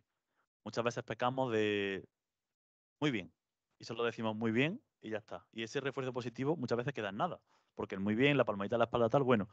Pero cuando de repente tienes a un profesor o una profesora, cuando tú has hecho algo bien, que para la clase, pita, llama a todos los niños y las niñas, se pone de rodillas delante de ti, te enseña una tarjeta verde y te dice, esa tarjeta verde es por esto, por esto y por esto. Ese niño va a empezar que se va a casa con la sensación de, vale, esto que he hecho está muy bien hecho y no se me va a olvidar durante un tiempo esto se hace así. Porque si tengo un profe o una profesora y una clase entera que se para para decirme esto se hace así de bien, yo voy a seguir haciéndolo de esa manera. Y lo bueno es el aprendizaje vicario del resto de niños que están ahí diciendo, wow, yo quiero eso, yo quiero esa atención. Que tiene una parte negativa, que es la de que hay que manejar esas ansiedades de los niños por tener tarjetas verdes. Que muchas veces te puedes encontrar un niño y una niña que un poco más le falta empujar al, al de al lado para levantarlo luego y decir, profe, mira qué bien lo he hecho. hay que tener cuidado también con eso. Pero, pero sí, esa es la herramienta principal de trabajo. Y luego, la tarjeta azul, ¿no? Siempre, siempre complementando, siempre buscando las oportunidades de decir, oye chicos, esto está saliendo muy bien. Para está una parte muy importante. El hecho de que cuando todo está saliendo bien, cuando la clase va bien, se están dando los conocimientos y tal. Ahí la tarjeta azul nos ayuda, en vez de relajarnos, es decir, que bien está yendo y todo, decir, ahora puedo aprovechar para activar ese mecanismo de resiliencia en un contexto de adversidad controlada. Adversidad controlada es una palabra para nosotros muy clave, es un poco palabra, pero básicamente significa que introduzco un obstáculo en un momento en el que yo sé que el espacio es seguro, sé que ese obstáculo se puede superar y yo puedo ayudar a esos niños y esas niñas a que lo superen. Entonces, de repente están jugando y yo lanzo un reto para el grupo. Y a lo mejor están jugando un partido y el reto de repente es que tienen que jugar con las manos. Y ahí que aparece, que aparece la frustración, aparece esos niños esas niñas súper competitivos que dicen, con las manos vas a jugar tú, profe, yo no, así no, el que se sale, el que no, pero luego está también el niño y la niña que dice, sí, sí, sí, profe, con las manos, es verdad, y coge el equipo y lo organiza. Ahora con las manos, esto lo vamos a hacer así y tal. Y esas son las habilidades que queremos reforzar y que queremos que vayan apareciendo en nuestros niños y nuestras niñas. Por eso, el hecho de meter esto en ese tipo de momentos es clave, es decir, vale, ahora puedo retarlo a que mejoren. Y si consigo que mejoren, ya la próxima vez que lo saque, ese niño, aunque se frustre un poco, va a decir, verdad, si respiro tres segundos y pongo en marcha las habilidades que yo he desarrollado, ¿qué más me da jugar con las manos o con el pie si voy a, voy a conseguir el resultado? Y eso luego lo extrapola. Eso luego no lo tienes solo delante del campo, sino que dices en clase, ostras, han puesto un examen mm, de un día para otro. Y en vez de cabrearme con la profesora y decir una palabra que no tenía que decirle, digo, ah, bueno, si estudio un poco más, lo mismo lo saco. Lo mismo no tenía sentido cabrearme tanto, porque ya en el campo te ha pasado. Te has dado cuenta que enfadarte por algo que no está en tu mano no tiene sentido, sino que tienes una serie de recursos que te empoderan y que de hecho sabes que si los pones en marcha, tú lo consigues superar. Entonces, es un poquito la dupla que hacen la tarjeta verde y la tarjeta azul.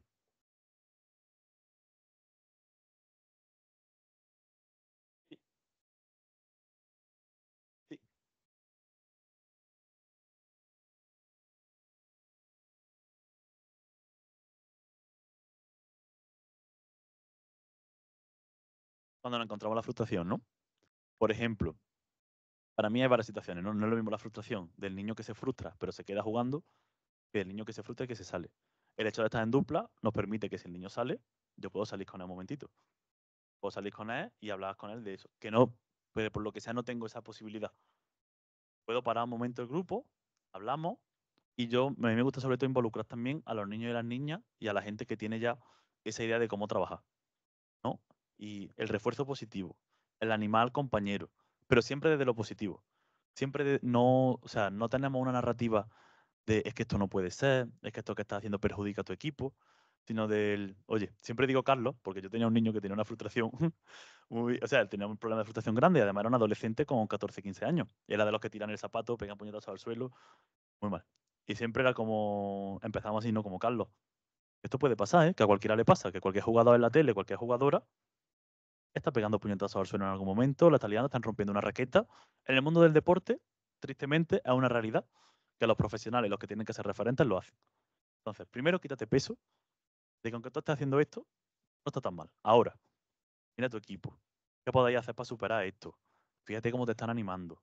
Tú que además eres clave dentro del equipo. Tú que eres una persona que eres referente. Quieres salir un momento, ve a beber agua y vuelve. a un poquito generando esa estrategia, involucrar al grupo, hablar de lo que se ha hablado anteriormente dentro de la clase, hacer vínculo con sus referentes deportivos, perdón, hacer vínculo con los diferentes deportivos. Esa metáfora dentro del deporte también ayuda mucho. ¿No? ¿Te acuerdas el otro día el partido de tal que pasó esto? ¿Qué hubiera pasado si hubiera hecho como tú? Y así, en el deporte hay muchísimos ejemplos de ese tipo de, valores que a los niños les enganchan mucho y son capaces de, agarrarse ahí. Entonces, un poquito esa es la forma que tenemos de, afrontarlo. Eso nos mejora también, luego, aparte en individual, saca una tarjeta azul, ven Carlos, mira, recordad que no es un castigo. No, sino, porque además la pueden elegir, pueden no aceptarla y no querer cambiar, y bueno, te esperas al día siguiente y vas viendo otra vez cómo lo trabajas con él. Pero mira, te voy a poner este reto, ¿vale? Que es un reto por ti, para que tú veas que esto va ahí mejor, porque vamos trabajando de esa manera. Y luego, aparte, cuando terminamos la sesión, luego varía un poco la estructura, ¿no? Pero nuestra sesión es círculo inicial de calentamiento, para ver un poquito cómo está todo el mundo, varias actividades que van desde un calentamiento hasta un partido, y luego un círculo final de cierre. Ahí lo comentamos. Y ahí reforzamos muy positivamente la gente que ha superado eso. ¿no? Hacemos un cierre de la sesión. Oye, por cierto, ¿acordáis de lo que pasó con Carlos? no sé qué, ¿no queréis darle un aplauso por cómo lo ha gestionado, tal, no sé qué, y una tarjeta verde y tal? Y ese tipo de cosas hacen que poco a poco, poco a poco, poco a poco, ese niño Carlos que pegaba puñetazos al suelo y tiraba el zapato a día de hoy, se comporta de una manera a nivel deportivo que a mí me sorprende muchísimo. Ya no está conmigo, está con otra compañera, pero no hay color. Es un referente, sigue siendo un niño muy bueno, pero toda esa frustración la convierte en, en más ganas. Más ganas, animar al equipo y, y seguir sumando. No sé si alguien tiene alguna duda más, pero Joan. Ah, vale.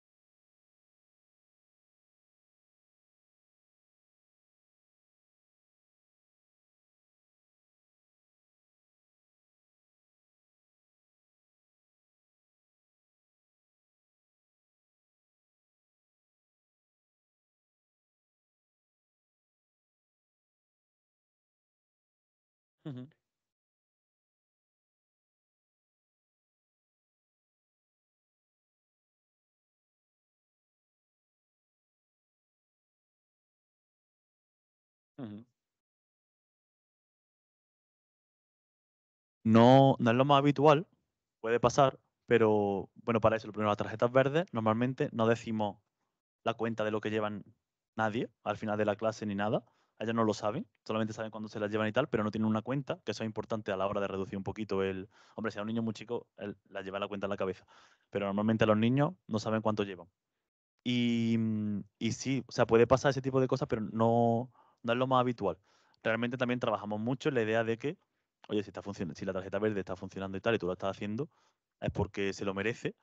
de vez en cuando pasa, otra vez esta persona tal, paramos en ese momento. ¿Qué es lo que pasa? ¿No? En plan, ¿qué problema tienes con esto? ¿Por qué ocurre esto? Y la repartimos mucho las tarjetas verdes. O sea, lo que intentamos es eso, es una oportunidad de reforzar además a la persona que más lo necesita. O sea, normalmente no hay una persona que se vaya a llevar 15 tarjetas verdes y una que se lleva cero. ¿no? Sino que vamos a buscar el más mínimo detalle, la más mínima situación que una persona haga bien para decir, oye, aquí tarjeta verde. El resto a lo mejor fatal. No andas pegado con tus compañeros, has hecho todo muy mal. Pero mira, esto que hiciste, esto lo hiciste muy bien. Ahora el resto vamos a ir trabajándolo. Entonces, bueno, también se van repartiendo un poco y se van reduciendo esas ansiedades de las que hemos hablado antes, de decir yo, ¿por qué ella o él sí y, yo no? Normalmente sí. Y también lo vamos dejando muy claro. Vamos dejando muy claro que hay un número de tarjetas verdes que se ponen, que siempre desde la alegría, desde lo divertido, pero que lo tengan claro que no siempre todo el mundo se lleva muchas tarjetas verdes. La chica más grande que tenemos tiene 18 pero normalmente hasta 16. Sí. Es diferente. No es lo mismo con niños y con niñas que con adolescentes. Me sorprende también mucho que con adolescentes lo bien que funciona. que funciona bastante bien. Que es muy importante aquí, aparte, hacerlo como un sistema de economía de fichas cuando se pueda.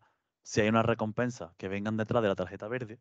O sea, la idea de nuestra metodología, por lo menos en Chile y en España está empezando a pasar, pero requiere de más tiempo. Allí se juega en liga ligas de los barrios en los que se trabajan. Las personas que tienen más tarjetas verdes son las personas que van a ser el quinteto titular dentro de los partidos de fútbol sala. Entonces, cuando tú vayas a otro barrio a jugar tu partido, esas personas son las que juegan. Y el resto a lo mejor va a acudir, pero no puede jugar. Y tienen que estar animando. Entonces, ese sistema de refuerzo positivo, pero que aparte tiene una serie de, de consecuencias. A lo mejor nosotros aquí en España, como todavía estamos creciendo mucho, pues en realidad no queremos dejar fuera a ningún niño, ninguna niña de la intervención. Pero a lo mejor si tenemos, siempre le decimos, pues si tenemos entradas para el Betis, van a ser los que tengan más tarjetas verdes. El otro día hicimos un, un encuentro en el que venían tres barrios, ¿no? Torre Blanca, Pino Montano y Pajarito. Y hicimos un sorteo. Los nombres del sorteo, era una camiseta del Betis. Los nombres del sorteo iban en función de las tarjetas verdes. Si un niño tenía 55, pues tenía 55 veces metía su nombre. Y sin embargo, si tenía 23, pues tenía 23. Que me parece un método bastante interesante porque no te estoy quitando de nada, pero tiene un premio la persona que si tenía más tarjetas verdes. ¿Sabes? Con adolescentes funciona eso mejor, claro. Pero normalmente también funciona, ¿eh? que es una pregunta totalmente normal, porque a mí también me parecía de primera que dije, a lo mejor con 16 años no, no me van a echar cuenta por mucho que yo le diga tarjetas verdes, pero me he encontrado un montón de gente que, que responden súper bien ante el refuerzo positivo.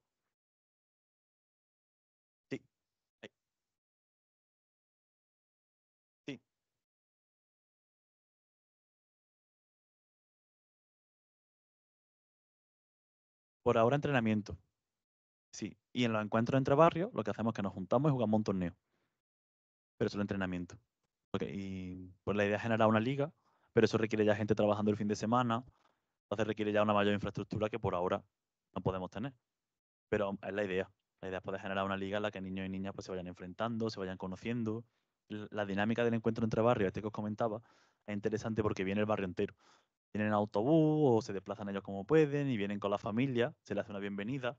Tiene una metodología detrás de, de cómo generar ese espacio de encuentro entre niños y niñas que no se conocen y de barrios muy diferentes y, y en los que se reduce mucho mm, si esos niños se encontraran fuera de un espacio seguro como el de fútbol más, sería un episodio curioso de ver lo que podría pasar jugando al fútbol. Sin embargo, allí se respeta muchísimo. De hecho, el último salió muy bien y tenemos un, un colegio muy, muy, muy conflictivo en el que toda la gente que vino se comportó de una manera excepcional, que para mí fue un ejemplo de súper buenas prácticas porque dije, wow, o sea, no me esperaba para nada que esos niños y esas niñas, que aparte juegan al fútbol increíble, se comportaran de esa manera con gente a la que no conocen. No conocen de nada porque era la primera vez que se encontramos y lo respetaron muchísimo y fue muy interesante.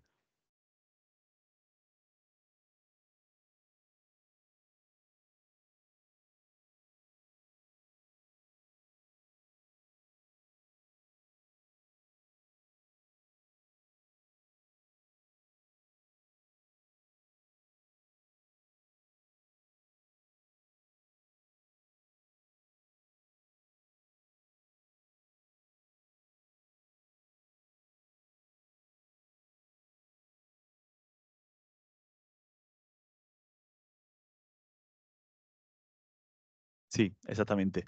Lo primero que los papi y mami muchos ya conocen la metodología de las actividades comunitarias que se van haciendo mensualmente, que han venido, han participado, entienden lo que es la tarjeta verde, tarjeta azul y tal.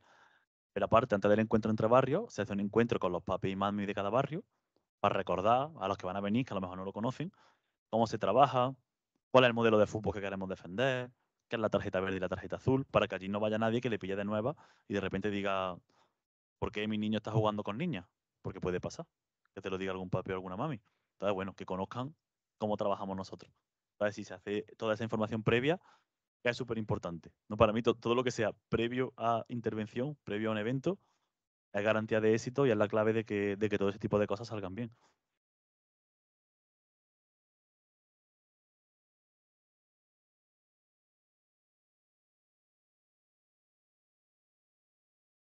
Realmente, no, no hay expulsiones. Y no jugamos con árbitros, jugamos con un modelado de juego y los niños y las niñas son los que se arbitran entre ellos. Hay líneas, hay líneas rojas en las que se puede coger a un niño, salir con él y hablar de lo que ha pasado y, que no pueda participar más en el partido, claro. Siempre se establece la línea roja. Lo interesante de aquí es que, uno, están puestas por ellos, ellos tienen las normas claras, saben lo que es y si hay un insulto, hay un- una agresión, esa persona va fuera. Va a salir fuera y tal, y se va a hablar con él, y se tirará del uso de referentes, se intentará resignificar el conflicto, lo cual no quita que esa persona durante ese momento tenga que salir.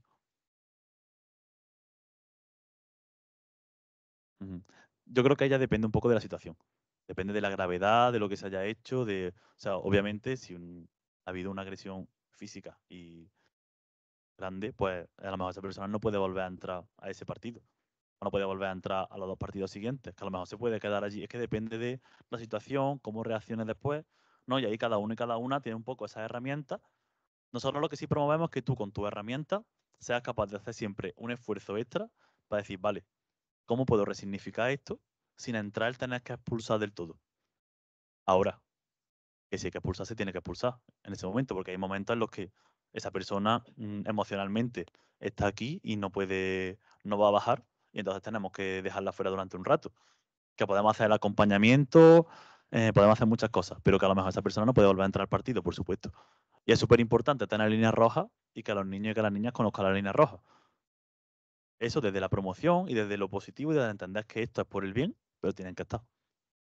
Sí, sí.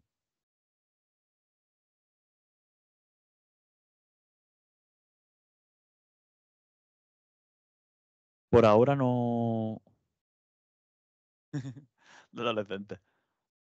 Aquí en España no tenemos. prácticamente En Sevilla no tenemos niños o niñas muy adictos a sustancias, pero lo trabajamos. O sea, lo trabajamos en las clases. Lo que pasa que, o sea, como mucho tenemos algunos niños que fuman, ¿no? Que fuman tabaco, fuman vapes, tal, y lo, lo trabajamos con ellos dentro de la clase de la manera grupal. O sea, dentro de los contenidos, no lo tengo aquí, pero dentro de los contenidos de la malla, hay uno que es entero de hábitos de vida saludable y ahí se trabaja. Y en el caso de que hubiera eso, pues, dos, tres niños que tienen ese perfil, no, yo por ejemplo trabajaba en Pino Montano y no ocurría tanto. En Torreblanca hay muchos niños con ese perfil. Se modifica tu malla porque sabes que eso es algo necesario a trabajar y vas haciendo hincapié en eso.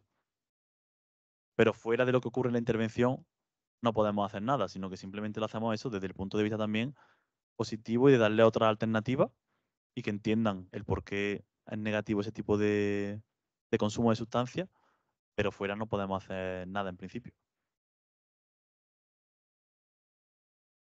No, no ha pasado.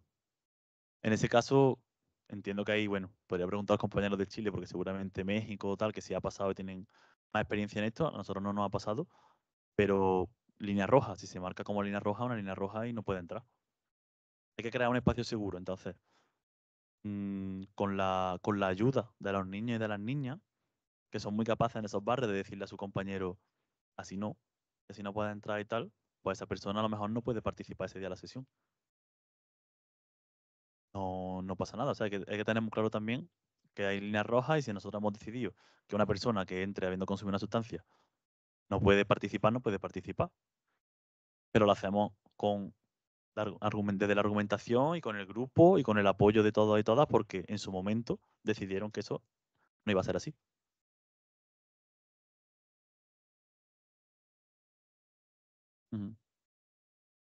Sí, sí, sí. Es complicado. Nosotros ya te digo, no es el caso en el que más experiencia tenemos, por lo menos desde mi perspectiva, porque no, se vive tanto en, Yo no lo he vivido tanto en Sevilla, en nuestros barrios, y no ocurre, que no es que no sea una realidad en los barrios de Sevilla, pero justo con las personas que han venido a nuestros proyectos no ha sucedido todavía que tengamos ese problema. ¿Alguna pregunta más? ¿Cuánto tiempo tenemos, Pere Joan? ¿Ya está? Vale, es que quería presentar los proyectos. Sí, quería presentar los proyectos rápidamente. Y ahora. Vale. Súper rápido, ¿vale? Y hacemos ya el descansito, pero. Proyecto Deporte por Refugio, este es el de Sevilla, el que os he dicho que teníamos aquí el modelo de triple colaboración, Fútbol Macea y Fundación Betty. Colabora, o sea, financia por la UEFA y Fundación La Caixa y apoyan UNICEF, ANUR. Es un proyecto que su aporte de valor, para mí lo más importante aquí, es ese trabajo en red. Es el tener esas instituciones volcadas en la ciudad de Sevilla y queriendo tener un impacto lo más grande posible en niños y niñas. O sea, es súper clave el haber tenido esos partners porque nos ha abierto muchísimas puertas y nos permite darle una intervención muy holística. Ya no solo nos permite escalarlo y no solo estás por las tardes, sino intentar entrar en las escuelas, dinamizar patios. Nos está permitiendo hacer muchas cosas. Y, y, nos dio mucho a conocer también como organización dentro de Sevilla, porque el hecho de llevar el, al Real Betis por bandera en Sevilla te permite eso. Es un, es un proyecto en el que trabajamos de lunes a jueves. Cada niño tiene una, dos sesiones de una hora y media por semana y hay cuatro grupos en cada uno de los barrios, ¿no? En total, eh, tres barrios. Vale, y lo que se me olvidaba, tiene como objetivo promover la inclusión de niños, niñas y jóvenes y también de origen refugiado. y por eso está eh, CEAR como colaborador. Luego tenemos el proyecto Más que Campeonas, que os lo he traído porque me parece muy interesante. Este también se hizo en Sevilla y tuvo el formato de campus de verano. Un campus de día en el que las niñas iban a jugar, era un campus de género, aprovechando el impacto del Mundial Femenino. Y de aquí lo que fue muy interesante fue que nos dimos cuenta que al trabajar con niñas, uno, casi todas reportaron que el hecho de haber tenido un campus de género para ellas había sido un momento muy importante. ¿no? El hecho de haber podido jugar solo con niñas al fútbol, queramos o no, y por desgracia, pero para ellas es mucho más reforzador que el haberlo hecho de manera mixta. Y nos dimos cuenta que no era tan importante aquí el trabajo socioemocional, en el sentido de, de promover esas habilidades socioemocionales y tal, que con ellas se hacía muy rápido, sino el hecho de que luego, cuando terminó el proyecto, un gran número de ellas se apuntaron a un deporte que antes no hacían. En un campus que, duró aproximadamente, no sé si lo tenía por aquí puesto. No, pero duró un mes. Se apuntaron al final luego, no me acuerdo el número exacto, pero fueron saliendo a otros clubes deportivos, se apuntaron a fútbol, a actividades, de tal manera que es verdad que a día de hoy tenemos algunas chicas que ya no van a nuestras actividades porque se han apuntado a deporte. Pero un gran ejemplo de buenas prácticas y nos dimos cuenta que a lo mejor ese era el tipo de intervención que había que hacer en Sevilla. Él da un espacio a niñas para que prueben algún tipo de deporte y luego de ahí den el salto a un club y generar esos vínculos y esas alianzas con clubes deportivos para que ellas puedan seguir practicando deporte a diario. Y luego aquí os traigo, bueno, y en este fue muy importante el impacto en redes sociales y el hecho de que ellas tuvieran esa conexión con sus referentes femeninas. ¿no? Al final, con Lucía Rodríguez, Nadia Nadine, Andrea Falcón, chicas que les mandaron, les mandaron mensajes de diferentes partes del mundo, eh, ellas las visualizaban, veían los partidos en el campo, eh, todo ese esa motivación que ellas sintieron por practicar deporte, por el mero hecho de tener una serie de deportistas profesionales que estaban ahí hablándoles directamente a ellas y pudiendo ver además el Mundial y encima, bueno, pues que ganó España y eso ya tuvo un efecto mucho más, más potente de lo esperado incluso. Y el tercer proyecto que os quería traer, por ser un poquito diferente, es el de Alex Remiro. Alex Remiro es el portero de la Real Sociedad, no sé si lo conocéis. Es el portero titulado, uno de los mejores porteros de España, y, financió un proyecto de parentalidad positiva. Estábamos preocupados con, cómo los padres y las madres animaban a, sus niños dentro de los terrenos de juego. Y entonces quiso trabajar con los 50 clubes federados de Guipúzcoa y hacer formaciones en tres talleres a padres y madres. Entonces nosotros de Fútbol Más pues, ponemos la parte metodológica, el diseño y la implementación de esos talleres y, trabajamos con, esos padres y con esas madres. ¿no? Ahí pone 18 clubes deportivos porque esto de 2023 se ha llegado a 39. Y un proyecto muy interesante, muy bonito, muy diferente, que sigue siendo de impacto en infancia, pero trabajando de manera indirecta porque trabajamos al final con, con madres. Y el último de los talleres sí incluye a niños y niñas. Y, y en el que se demuestra que también la metodología sociodeportiva funciona muy bien también con adultos. No, ellos hacen lo mismo que hacemos con niños. A través del juego vamos hablando sobre X temas, ¿no? Sobre espacios seguros, sobre cómo educar en valores, sobre los contravalores del fútbol y lo que ellos pueden promover, cuáles son sus problemas en el día a día con su hijo. Generamos también cohesión grupal dentro de una serie de padres y madres que no se conocen siempre entre sí, pero que tienen a su hijo y a su hija apuntados en el mismo club. Entonces, nada, aquí si quería hacer alguna pregunta de los proyectos. Aquí tenéis el bueno de Oliver que os pasa el balón. No sé si alguien quiere comentar algo de algún proyecto o preguntar alguna cosita. Lo he pasado un poquito rápido por encima.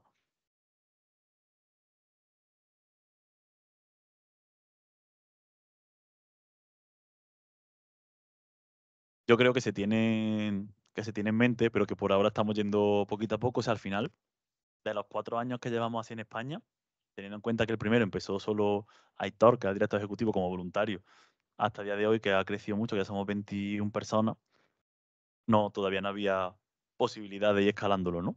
Pero sí, o sea, obviamente tenemos en Madrid, tenemos en Sevilla, en País Vasco, y pues estaríamos guay eso, pues Barcelona, Valencia, tenemos algunos sitios así un poco claves, también siempre en función de la alianza, colaboraciones, ¿no? Y de detectar, y también del, análisis de necesidad y de donde nosotros podamos aportar. Entonces, bueno. Pero sí, por, por querer, me encantaría. ¿Alguien más? ¿Alguna pregunta? ¿Queréis ya un break para tomar un poquito de cafelito y luego seguir? Vale, pues, pero Joan, si te parece, hacemos ahora el break y luego nos vamos al patio, que ya la segunda parte va a ser mucho más, más activa, más animada. Así que nada, bueno, muchas gracias por escucharme este ratito. Bueno, a veure, bon dia i benvinguts de nou a, a la segona sessió de treball en el marc d'aquesta capacitació que s'ha organitzat des de la Càtedra de Lleure Educatiu i Acció Social de la Fundació per a Terrés a la Facultat d'Educació Social i Treball Social. Vale? Eh, la intenció d'avui és donar pas a una segona sessió de treball enmarcada en l'acompanyament en medi obert a adolescents i joves, una altra vegada des de, des de la lògica de l'esport. Vale? Llavors, aquest matí hem convidat a, a cinc persones, a cinc professionals que porten un llarg de corregut en, en, en la utilització de l'esport com un recurs per treballar amb joves i, i hem distribuït la sessió una mica eh, com l'altre dia. En do, agafarem tot el matí, que és, està organitzat des de les 11 del matí i acabarem a la 1. Llavors sí que hem robat una mica del temps al tema de descans per donar pas a la segona part pràctica com l'altre dia. Llavors, començarem ara cap a les 10, 10 i 10 i estem amb el Xavi Camino, que ens farà un emmarcament una mica més teòric de tot el tema del paper de l'esport i de l'oci en la societat contemporània, d'acord? I a continuació d'aquesta primera presentació, que marqui la temàtica, pujaran a taula, farem un canvi de cadires i posaran a la taula dos companys que venen de Diputació de Barcelona, concretament el Santi Sarraute i la Belén Mas. I després, la tercera part d'aquesta primera part del matí l'ocuparan dos companys que tenim aquí seguts, que són l'Alfred Cano i el Marc Lozano, i que ens acabaran parlant dels joves, els usos dels espais públics urbans i una anàlisi de casos i experiències de l'skate. D'acord? Llavors, fins a les 12 menys 10, més o menys, estarem aquí en aquest espai escoltant les presentacions que ens facin aquests companys. Després farem 10 minutets de descans, ens prepararan aquí una mica de pica-pica, i a les 12 baixarem al pati, com l'altre dia, i allà dinamitzaran un taller l'Alfred i el Marc, en el qual ens arremangarem i ens posarem en mans d'ells a veure què ens toca fer en aquella horeta. D'acord? Llavors, si us sembla bé, donem ja pas a, l'inici del matí.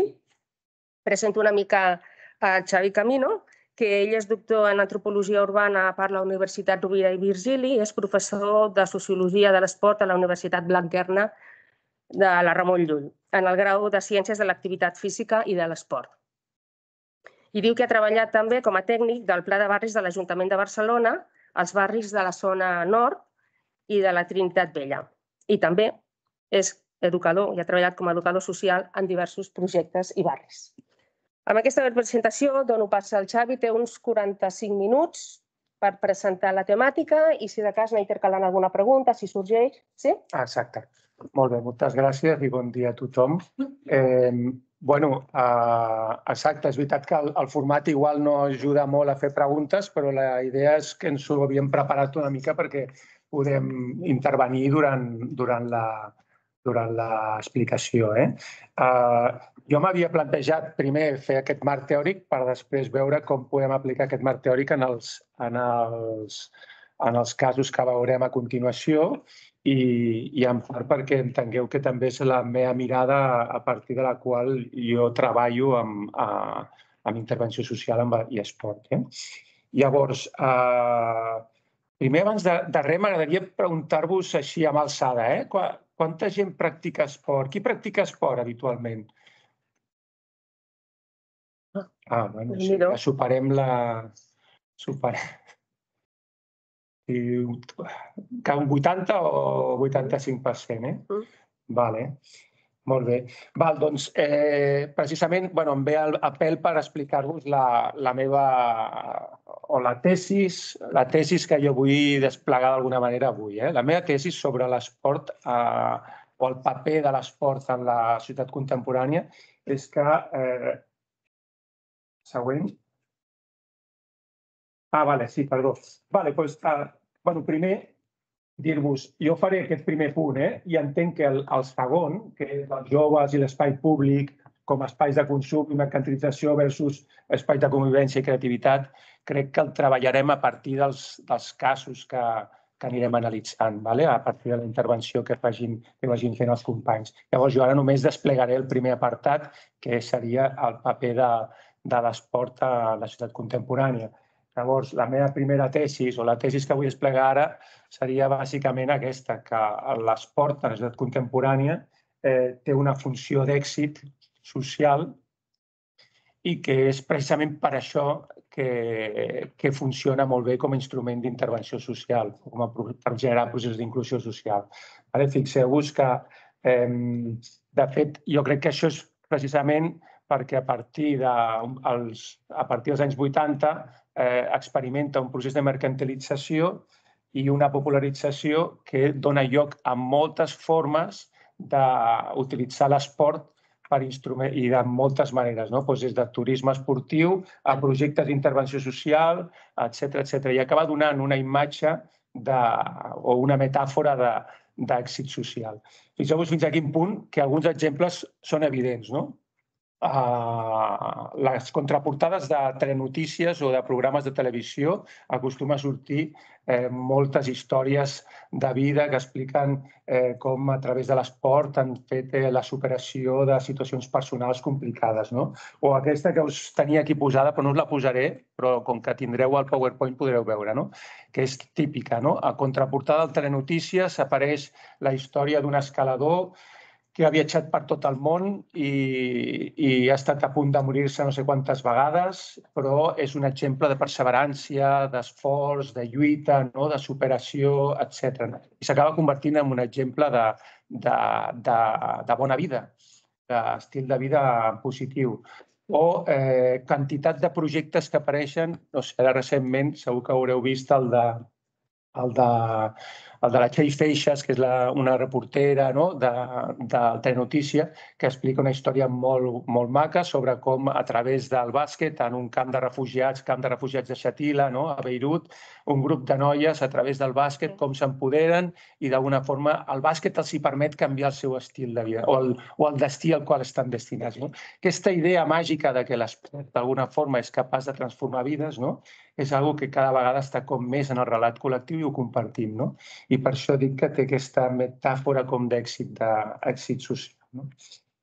Eh, però també sabem que l'esport planteja paradoxes, té limitacions. En realitat, els que treballem habitualment amb l'esport amb joves i en diferents situacions, eh, sabem que també té les seves limitacions, té paradoxes, té també contradiccions i ho veiem quotidianament perquè cada vegada més veiem eh, exemples de que l'esport és també exemple de corrupció, de masclisme, de racisme, de violència, no? I ho veiem contínuament, o cada vegada es comença a veure més aquesta, aquesta vessant més, potser, de contravalors o negativa, no? Però eh, a partir d'aquí explicaré aquesta tesis igual a partir de, de forma de, de, a partir de dades, de com això podem veure evidències en la, en la quotidianitat. Val? Llavors, la primera evidència d'aquesta tendència eh, són les dades que tenim sobre els hàbits esportius dels espanyols i les espanyoles, no? que com podeu veure, des dels anys 80 fins a l'actualitat hi ha una crescuda de la pràctica de, de gent que practica esport. No? Ho hem vist també amb aquest sondeig ràpid que hem fet amb, amb vosaltres. No? D'un 25% a un 57% de la població. Eh, és veritat que eh, segueix sent eh, menor eh, en relació als països europeus. Països del nord d'Europa se situen entre el 67 i 69% de la població que diu que practica esport. Ara, si mirem entorns urbans, Barcelona ja estaríem al 64%, no? o Madrid doncs, també estaria sobre, sobre, per sobre del 60%. No? O sigui, els entorns urbans ens apropem al, a les tendències europees.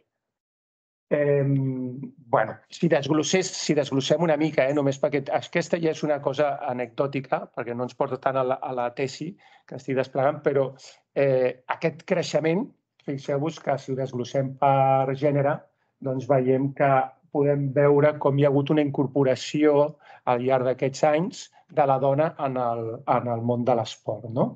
que ha anat eh, creixent sobretot a la dona. També en els homes, però especialment en les dones. Això vol dir que també les dones, quan han entrat al món de l'esport, han entrat per transformar-lo. Han incorporat nous valors i han transformat eh, l'esport de moltes maneres, no? Eh, però que no profunditzarem.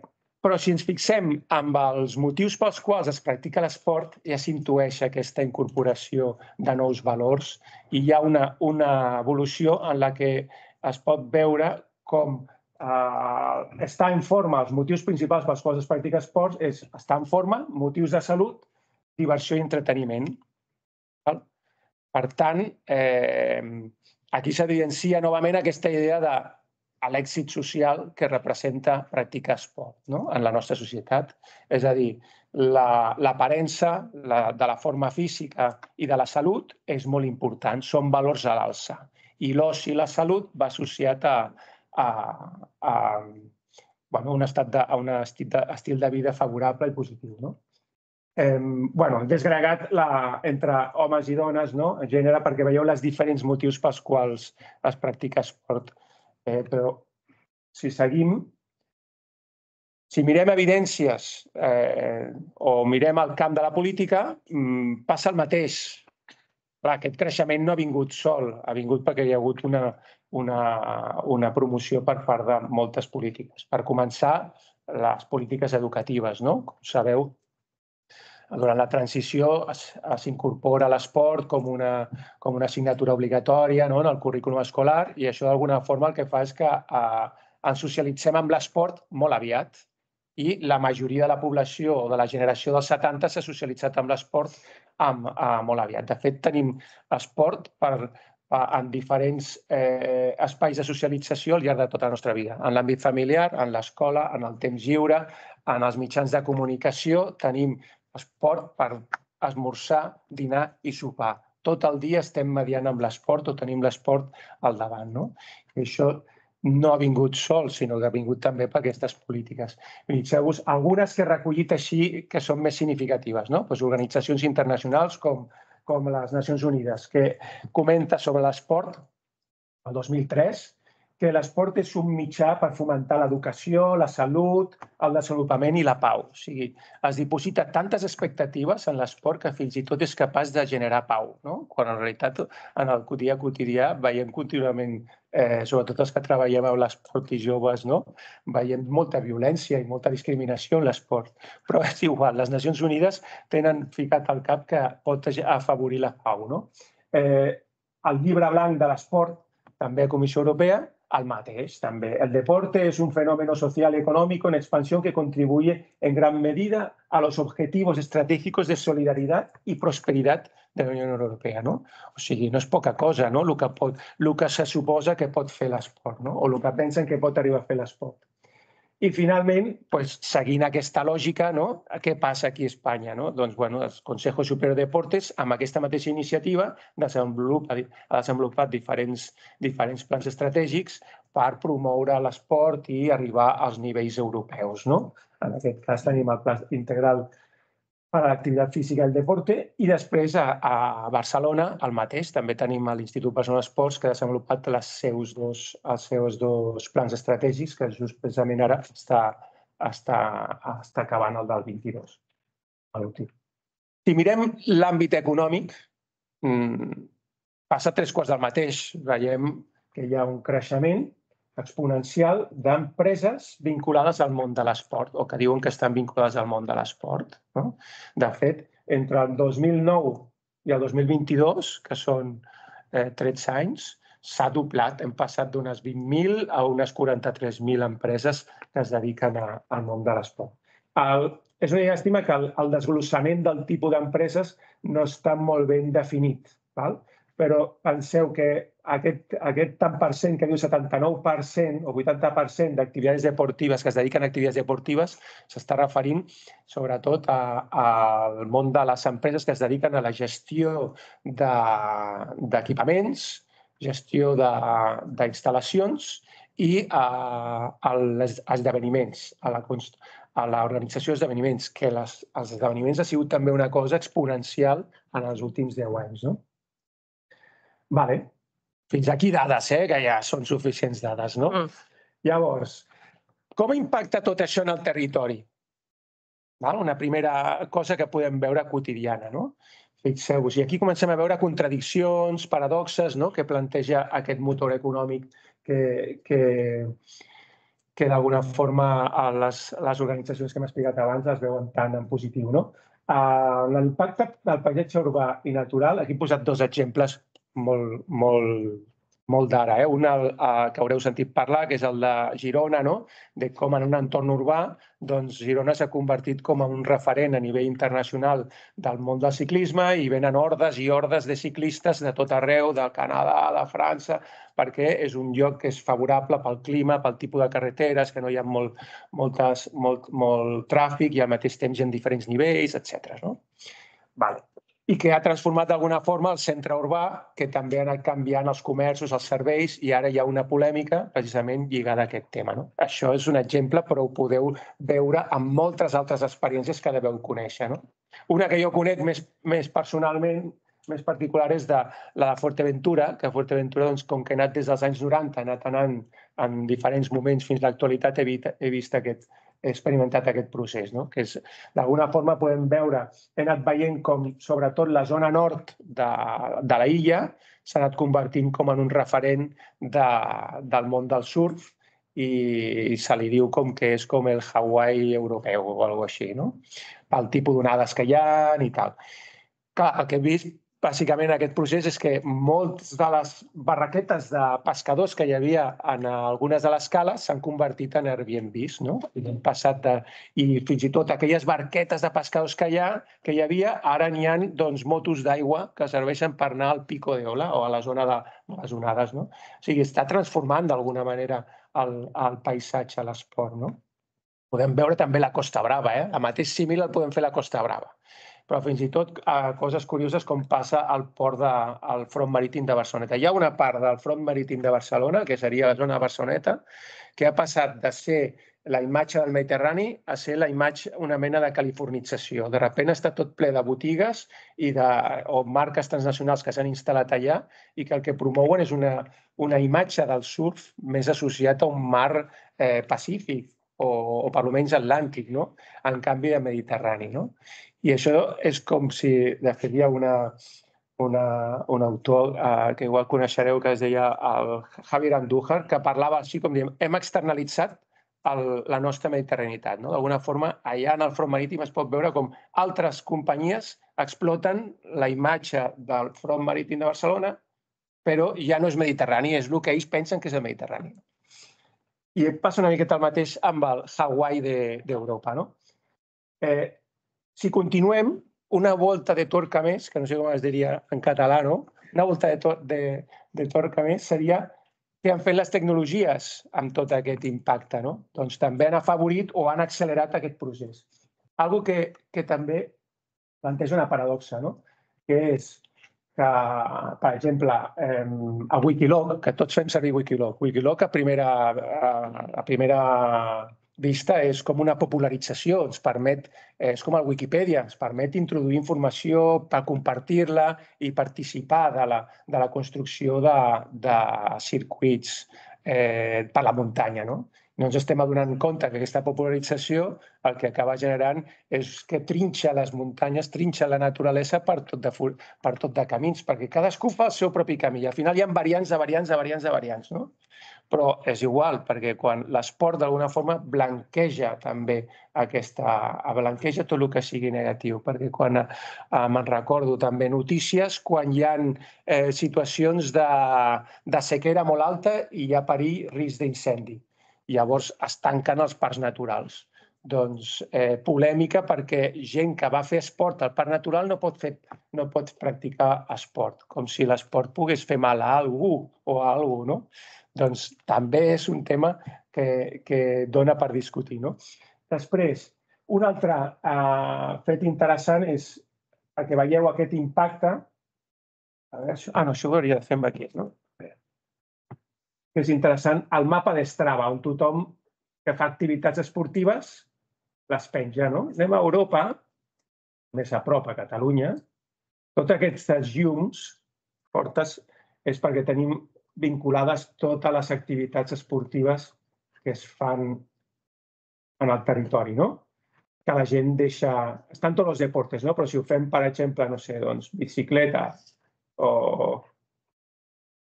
o les de deportes d'aigua, doncs veurem el tipus de, Mhm. d'usos que es fan i tal, no? Un altre interessant, mmm, com torno aquí al, aquest, no és? Ah, no, aquest. Un altre un fet interessant de les xarxes, no? I que co- continua amb, aquest, amb aquesta idea. L'he penjat aquí, aquest. Poso i després ho comento, són dos minuts.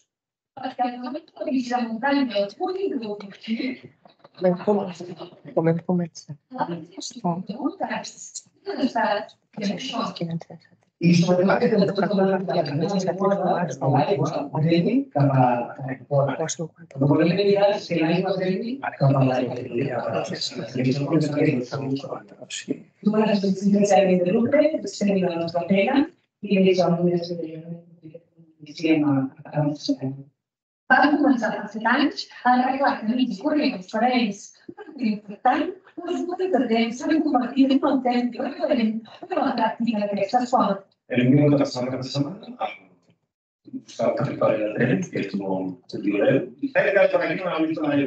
Ara, la i I mentre els membres del govern segueixen dient rutes, hotelers, restauradors i comerciants del Sar els aplaudeixen perquè han aconseguit captar gent d'arreu. I on s'instal·len tots aquests visitants? Una comuneta.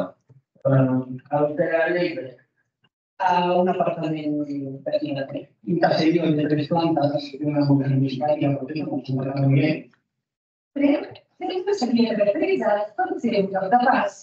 I ara és diferent. Aquí tenim un regant, que és l'increment de bici, i ha aconseguit molta gent. Una de les joies de la corona és el servei que tenim just aquí, al darrere. L'han anomenat el Dragon Khan, i no tant per la dificultat tècnica, sinó per la por, pel risc de caiguda i pel mal privat si cau de la bici. Per què no vol fer? No vol fer. No vol Però clar, N'hi ha molts que ho intenten i acaben baixant de la bici. Altres de joves sí, hem anat. Hem anat a fer Jo crec que sí. Sí, Alessandra. Diuen que això del descens en bici és molt addictiu. Però, anem lloc. La veritat és un dret tècnic, no? El cos que normalment, però final, si tu vols controlar-ho d'una manera que vingui molt bé, arriba al final d'una manera Arribes al final, sempre això sí, que tingui equilibri o vertigen i cert coratge. Però els que té dret.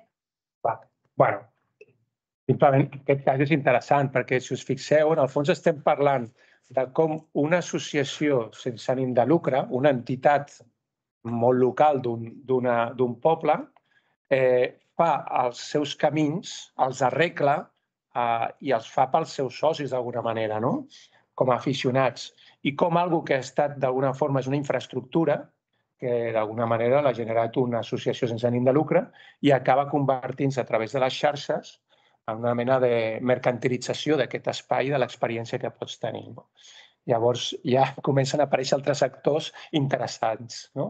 els comerciants, els hotelers, etc. Llavors ja és un motor econòmic del territori, no? com podria ser les vinyes o un altre. Eh? Llavors, eh, un altre aspecte important del paper de l'esport en la societat actual és precisament algo que ja ha passat, que ja es fa servir, que ja coneixem d'altres moments, no? que és que l'esport facilita o afavoreix fàcilment la construcció de relats col·lectius, no? la construcció de mites i, a sobre, instrumentalitzar-ho políticament eh, aquells fets. No?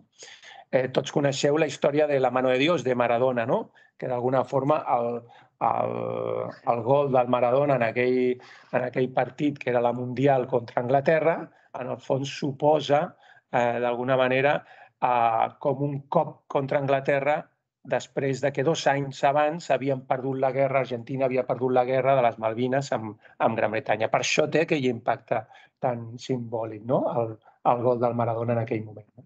bueno, això que ja passava a llavors, d'alguna forma, en l'actualitat, s'ha vist un, progre, una, una, un creixement progressiu. I veiem com cada dia, des dels anys 80, que es va, que es va estrenar Toro Salvaje, que és la història d'un boxejador, Robert De Niro, fins l'actualitat, com no ho he quantificat, estaria bé quantificar-ho, però com han crescut cada any la quantitat de biopics, sèries, documentals, pel·lícules, eh, novel·les, relats, cròniques sobre eh, la història de vida de diferents esportistes i les seves superacions personals, etc com a exemples de vida. I crec que superen les d'artistes i la de músics, que en altres moments eh, havien estat importants. No? Uh, el John Carlin deia alguna així com que estem substituint els referents, eh, les històries de vida que eren referents de polítics, religiosos no? o filàntrops que feien coses per la societat per eh, esportistes que ens expliquen el que han aconseguit ells sols, no? que és una mirada diferent, no? perquè no hi ha un retorn d'alguna manera a la societat. És més un culte al narcisisme. No? Llavors, què suposa tot això a nivell eh, eh, a nivell més popular. No? D'alguna manera, sembla com que l'esport s'ha convertit en una cultura pop, una cultura popular, com en altres temps, entre els anys 60 i els 80, o era la, sobretot la, la música, no? i on teníem grans referents uh, vinculats a la música. No? Uh, l'esport per als joves sembla una cultura popular perquè al final és una, un espai de socialització on ells poden d'alguna manera desenvolupar la seva pròpia identitat, les relacions, reconeixes amb els altres, amb els seus iguals, construir els seus propis llenguatges, etc etc. no? Eh, I, en aquest cas, les tecnologies tornen a aparèixer de manera que acceleren això, perquè les tecnologies i les xarxes socials, Instagram, etc, d'alguna forma el que t'estan dient és que tu pots experimentar el mateix que un esportista professional. I aquí va lligat amb el creixement d'aquests esdeveniments esportius de tornejos en el que molta gent ens apuntem de forma, doncs, eh, diguem-ne, amateur, però que tenim una experiència com si fossin professionals esportistes. No? I totes les tecnologies que van associades al rendiment, no? a com millorar el teu projecte personal, d'esportiu, etc va lligat a aquesta acceleració o popularització del que jo dic, la popularització del rendiment esportiu. No? Tothom ara pot tenir el seu projecte d'esports. De, de, no? Ja no tant com a espai lúdic, sinó fins i tot com per, per arribar a alguna marca esportiva.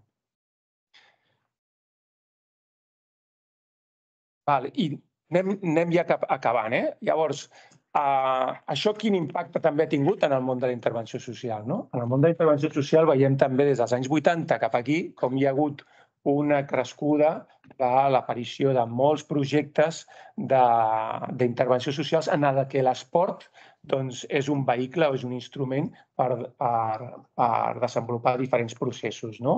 promoure valors, etc.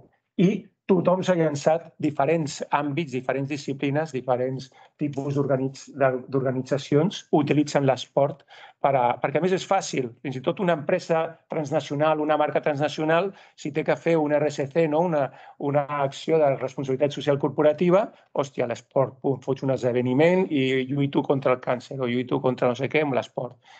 Tothom entén aquest llenguatge. No? I va vinculat a aquesta idea d'èxit social. Llavors, una experiència personal amb el Pla de Barris eh, ho demostra, m'ho demostra, no? que és quan vam començar en Pla de Barris a desenvolupar el, el Pla de Barris en diferents barris, doncs al principi el que fèiem era una diagnosi. En la diagnosi amb un procés participatiu, amb els veïns, no? tècnics del territori, etc. En tot aquest procés de diagnosi sempre apareixia l'esport en boca dels veïns, dels tècnics, etc., com un instrument que era com, com necessari per resoldre problemes, problemes de tot tipus. Els joves que estan desvinculats de, del circuit ordinari, no? de, de, del circuit dels estudis, que han deixat els estudis. Hòstia, si fem un fiate perquè llavors els recuperem. Eh, llavors després ja acabaran fent un cicle formatiu i potser acaben fent un INEF. Eh, després, a l'àmbit de, dels equipaments per descomptat, no? Necessitem un camp de futbol, necessitem unes piscines, etc. No? Tothom ha de tenir accés a l'esport. Eh, en l'àmbit de l'espai públic, igual. Per resoldre problemes d'inseguretat, hòstia, un skatepark, hòstia, una calistènia, que en aquella zona que, que fa més por, doncs posem una calistènia i funcionarà. A la gent gran també, esport vinculat al, al, al CAP, al Moveu, al Movem-nos, etc. No? Són, l'esport era una recepta per a tots els àmbits i tots els perfils o tots els, els usuaris que podien ser beneficiaris del pla de barris. No? Eh, també altres, eh? Bueno, aquest us el passo perquè si no no arribarem al final, perquè era un exemple no? precisament d'un espai eh, que tenia percepció d'inseguretat i com l'acaben transformant a partir de les demandes dels veïns no? en, un, en un espai de, de esportiu per joves. Eh, llavors, concluint, o començant a tancar, perquè encara quedarien dues diapositives, en tenen temps? Ah, vale. Sí, tens 10 minuts llargs, eh? Vale pues, eh, en primer lloc, bueno, recuperar aquesta idea de que al final eh, tot això ha contribuït d'alguna manera a que l'esport tingui una imatge positiva, no? una idea molt positiva i que serveix per a moltes coses. No? I mm, aquesta eh, expectatives tan altes en l'esport moltes vegades nega altres aspectes, com els límits que l'esport té. El, uh, aquesta idea de que l'esport doncs, transforma vides i és capaç de canviar vides i que, a més, tenim contínuament exemples que ens bombardegen des dels mitjans de comunicació, doncs, en realitat són excepcions. No? O sigui, no sé si heu treballat amb, amb, amb gent que ve de, que, que, que ve de països subsaharians i que joves precisament venen il·lusionats amb el tema del futbol i que es pensen que gràcies al futbol aconseguiran que algú els, els col·loqui i vegi. No? És, un, és un relat típic d'alguns dels joves subsaharians que arriben aquí. I el primer que es donen és la gran hòstia perquè ningú club els agafa. No? En tot cas, els van a buscar ja. No? Llavors, eh, bueno, aquesta idea és perquè precisament l'han vist moltes vegades i normalment són excepcionals, són casos excepcionals. No? I llavors crec que moltes vegades doncs, eneguem aquestes contradiccions contra valors que també desenvolupen no? i que coneixem ara molt recentment no? amb tot el, el cas del Rubiales, no? la corrupció que hi ha, etc. No? Però sabem que serveix per tot això que hem dit, no? per promoure la salut, a nivell de salut mental, gestió de les emocions, cohesió, valors, i és precisament a partir d'aquí que nosaltres ho fem servir, no? intervenció social. Llavors, però com hem arribat a aquesta, a aquesta idea que, que l'esport no? serveix per a tot, serveix per qualsevol cosa i transforma tantes vides? No? Aquesta és la definició estàndard que hi ha sobre esport, que és, que és molt loca, perquè al final eh, hi aquí. No? Diu, activitat física que mediante una participació organitzada o no tenga por finalidad la expresión y la mejora de la condición física y psíquica del el desarrollo de las relaciones sociales i l'obtenció de resultats deportius en competicions en tots els nivells. I això ja demostra aquesta idea de que s'intenta encabir moltes coses en l'esport, que pot fer moltes coses, fins i tot, com de les Nacions Unides, no? eh, resoldre eh, la pau. No? Llavors, molt ràpid, en aquest esquema, que jo m'he centrat bàsicament a partir dels anys 80, no? només per dir-vos quin és la, com es manifesta l'esport en l'actualitat. No? Hem vist alguns exemples, però com es manifesta a nivell estructural. No? La meva tesi, d'alguna manera, seria que a partir dels anys 80, sobretot, de fet, és a, a, a principis del segle XX és quan les estructures estatals comencen d'alguna forma a promoure l'esport i a donar-li un valor. Després de la Segona Guerra Mundial, els estats, sobretot europeus, occidentals, doncs, eh, comencen a convertir l'esport en un dret social, a la categoria de dret social. Tothom ha de tenir accés a l'esport, llavors instal·lacions públiques, etc. No? que seria entendre l'esport com un bé comú, com un bé social. A partir d'aquí, a partir dels anys 80, és quan, com passa amb molts altres elements, eh, també passa amb l'habitatge no? o amb el sol, no? que de repent, quan és un bé comú, a partir dels anys 80 experimenta un procés de mercantilització que diversifica totalment l'esport, no? per això turisme esportiu eh, eh, i tots aquests exemples que hem vist, no? i passa cap a l'altra banda, que seria convertir l'esport en un bé de consum. Quan ho converteix en un bé de consum, és un motor econòmic. És un motor econòmic, també popularitza i genera moltes situacions diferents. I són oportunitats de negoci. No?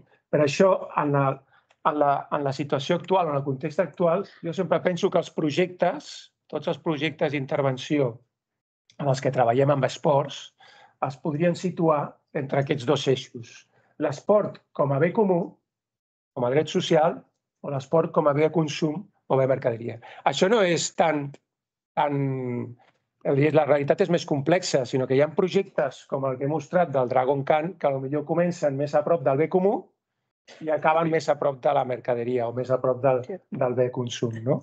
I, I això ens ho trobem, sobretot, en molts projectes amb, amb espai públic. Per exemple, quan jo he treballat molt i hem discutit molt a, amb l'Alfred i, el, i el Marc sobre, sobre l'skate, a l'espai públic, no? sabent que l'espai públic també és un espai de relació amb molts joves, no? dels que treballem amb joves, on te vas a trobar-te amb els joves, especialment a l'espai públic, que és el lloc on, on es troben, on es, es desenvolupen no? i poden trobar-se les seves, desenvolupar els seus propis projectes. No?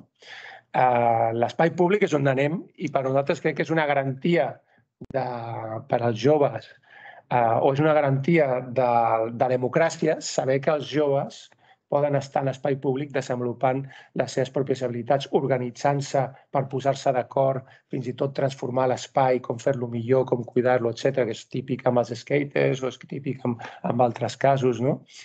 I per mi seria una, una garantia de que, hòstia, de que estan assajant experiències d'organització, de trobar-se, de, que després probablement podran aplicar en altres àmbits quan siguin adults. No? En aquests espais públics, en aquests escenaris, també apareix amb, de forma molt forta el, tot el tema de la mercantilització. No? I alguns exemples són clars. En MACBA no és el mateix que alguns dels exemples que ens explicaran a, als meus companys. No? no és el mateix que passa al MACBA, que es massifica, que apareixen periòdicament companyies transnacionals, posen els seus, fan els seus propis tornejos de manera informal, a vegades sense permisos ni res, i, i llavors el que fan al final és d'alguna forma venir a, a vendre els seus productes que un projecte en un barri en el que els skaters s'organitzen per muntar una, un skatepark o reivindicar un skatepark a, una, a l'Ajuntament i acaben fent un procés participatiu i, i construint ells mateixos l'skatepark. No? Llavors, bueno, aquesta seria una miqueta la, la idea. Jo tenia després alguns exemples que mostraven la diferència, eh? però, però crec que amb això seria suficient perquè ho podrem discutir amb els, amb els exemples que veurem després. Si teniu preguntes, sí. si que no... Alguna pregunta que voleu aprofitar per fer el Xavi? Mira.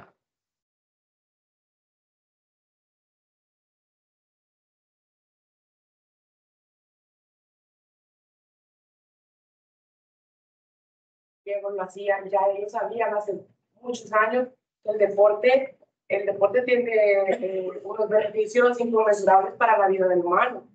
Eh, lo malo o lo bueno, no sé, que, sucede hoy es lo que tú mencionas, una mercantilización del deporte, vaya para el caso, en el fútbol. Eh, si lo piensas de forma magna, cómo el fanatismo afecta mentalmente a la gente. O sea, es triste. Es triste. O sea, a mí un día yo iba caminando al pobre, no, pasó alguien con una bandera de Real Madrid y Dios mío, la gente le, gritó un montón de cosas. Y digo, yo, jolín, o sea, por fanatismo.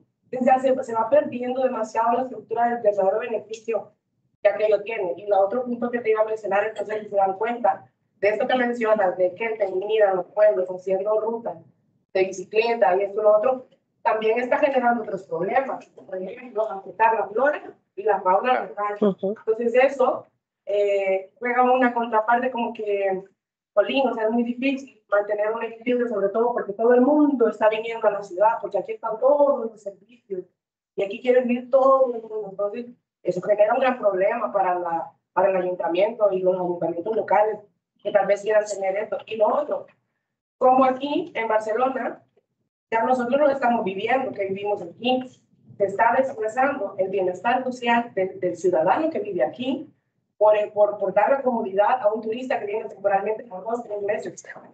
Y nosotros estamos sufriendo cosas eh, como ciudadanos locales que realmente, Jolín, uno dice, a saber qué nos va a tocar, a dónde nos va a tocar ir a vivir, con esta idea que trae, eh, atrae tanta inversión aquí a Barcelona. Entonces se está perdiendo. Mientras menos cosas lo que haya que hacer aquí, o sea, la ciudad está perdiendo por completo el sentido de que lo que era Barcelona y lo que es Barcelona todavía. Entonces, Eh, me parece eso, igual yo es la primera vez que vengo, me perdí la sesión anterior y este, el enfoque de esto, pues me parece que está, está guay y tal, pero sí que como, como personas en este sentido debemos ayudar a crear conciencia también de que, de que lo que estamos tratando de hacer es algo bueno para todos, no es para generar dinero, no es para, que, para enriquecer a alguien y, todo esto, ¿no? para el caso, lo de la bicicleta, o sea, aquí en Barcelona, porque saben andar en bicicleta era un problema, o sea, no, no es que sea un problema, pero realmente no es asequible rentar bicicletas, cuando debería de serlo. Debería de facilitarse que el ciudadano pueda moverse más libremente usando más transporte que me pueda mover por sí propio a que use transporte público y coches porque eso va en, en, completo detrimento de todas las cosas que se están haciendo. Que queremos que el, que el clima cambie, que esto cambie, que esto cambie, pero internamente no estamos atacando los problemas que realmente deberían podrían ayudar a mejorar la situación de un, con un enfoque mucho más humano y personal, ¿no? de que cada quien desde donde esté, de su trinchera, pueda hacer algo realmente valioso y que pueda impactar positivamente a la sociedad. ¿Me contestaba, Xavi? Bueno, gracias por tus aportaciones porque amplían de alguna forma ¿no? la, la mirada esta, porque en el fondo es cierto que eh, este modelo o este aparato conceptual que he mostrado en el fondo simplemente está, está eh, explicando el caso concreto del deporte cuando es un modelo neoliberal que, ¿no? mercantilista que se, se incorpora en muchos otros campos. ¿no? Evitar por completo de las cosas de esa manera, porque luego no se puede defender. O sea, no se dieron cuenta del, del, del grupo este, del pueblo este, donde se filmó un, un documental sobre un asesinato. La gente está molesta porque esto ha generado un montón de turismo para el lugar y la gente dice que ha perdido la privacidad y todo aquello porque apareció por la televisión y todo. En Honduras, yo soy de Honduras, está superviviente. Ustedes no ni idea, la gente no vaya que hacer con el jefe superviviente está filmando allá, pues la gente está yendo a calles cochinos, está yendo, y la gente es tan malvada que van y cortan trocitos de coral, van afectando así, o sea, y, y uno dice, Colín, está bien que se promocione, pero de ahí a que, a que luego no tengamos conciencia de lo que estamos viendo y que no lo valoremos de una forma más que queremos recuerdo, no sé, al final como que las cosas pierden el sentido demasiado. Bueno, si os parece, continuamos eh, dando conversación. No, no, la aportación que has hecho que es interesante, la verdad que es amplía de alguna manera el análisis que hace, eh, nos ha presentado Xavi centrado en el deporte, pero que se extiende a, muchos, más, a muchos más ámbitos.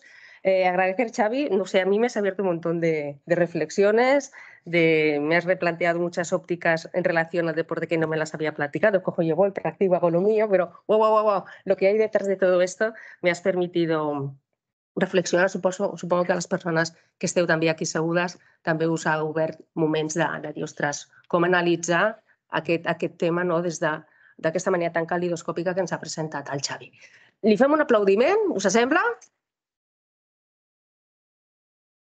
Molt bé, bueno, us presento dues persones que venen de la Diputació de Barcelona, el, el Santi Serraute, que és enginyer químic i màster en gestió pública de formació. Treballa a la Diputació de Barcelona des del 2005 i és el gerent de l'àrea d'esports i activitat física des del 2021. I l'acompanya la Belén Mas, que també treballa des del 2018 a la Diputació de Barcelona, és tècnica d'esports a l'àrea d'esports i activitat física i ella és graduada en Ciències de l'Activitat Física de l'Esport i màster en Direcció d'Empreses de l'Esport. Llavors, tots dos, conjuntament, ens farà una presentació d'un programa adreçat a joves a través dels educadors esportius. Vale? Vinga, teniu uns 20 minutets o així per compartir. Intentem ajustar-nos. Doncs moltíssimes gràcies a la Pere Tarrés per, per, per donar-nos l'oportunitat de presentar aquesta experiència. Eh... Oh, mira. Ai, disculpeu. Ara. Ara? Sí. Bueno, repeteixo, moltíssimes gràcies a la Pere Tarrés gràcies. per convidar-nos a presentar aquesta experiència que duem a terme des de l'any 2021 a, a, a l'àrea d'esports i activitat física.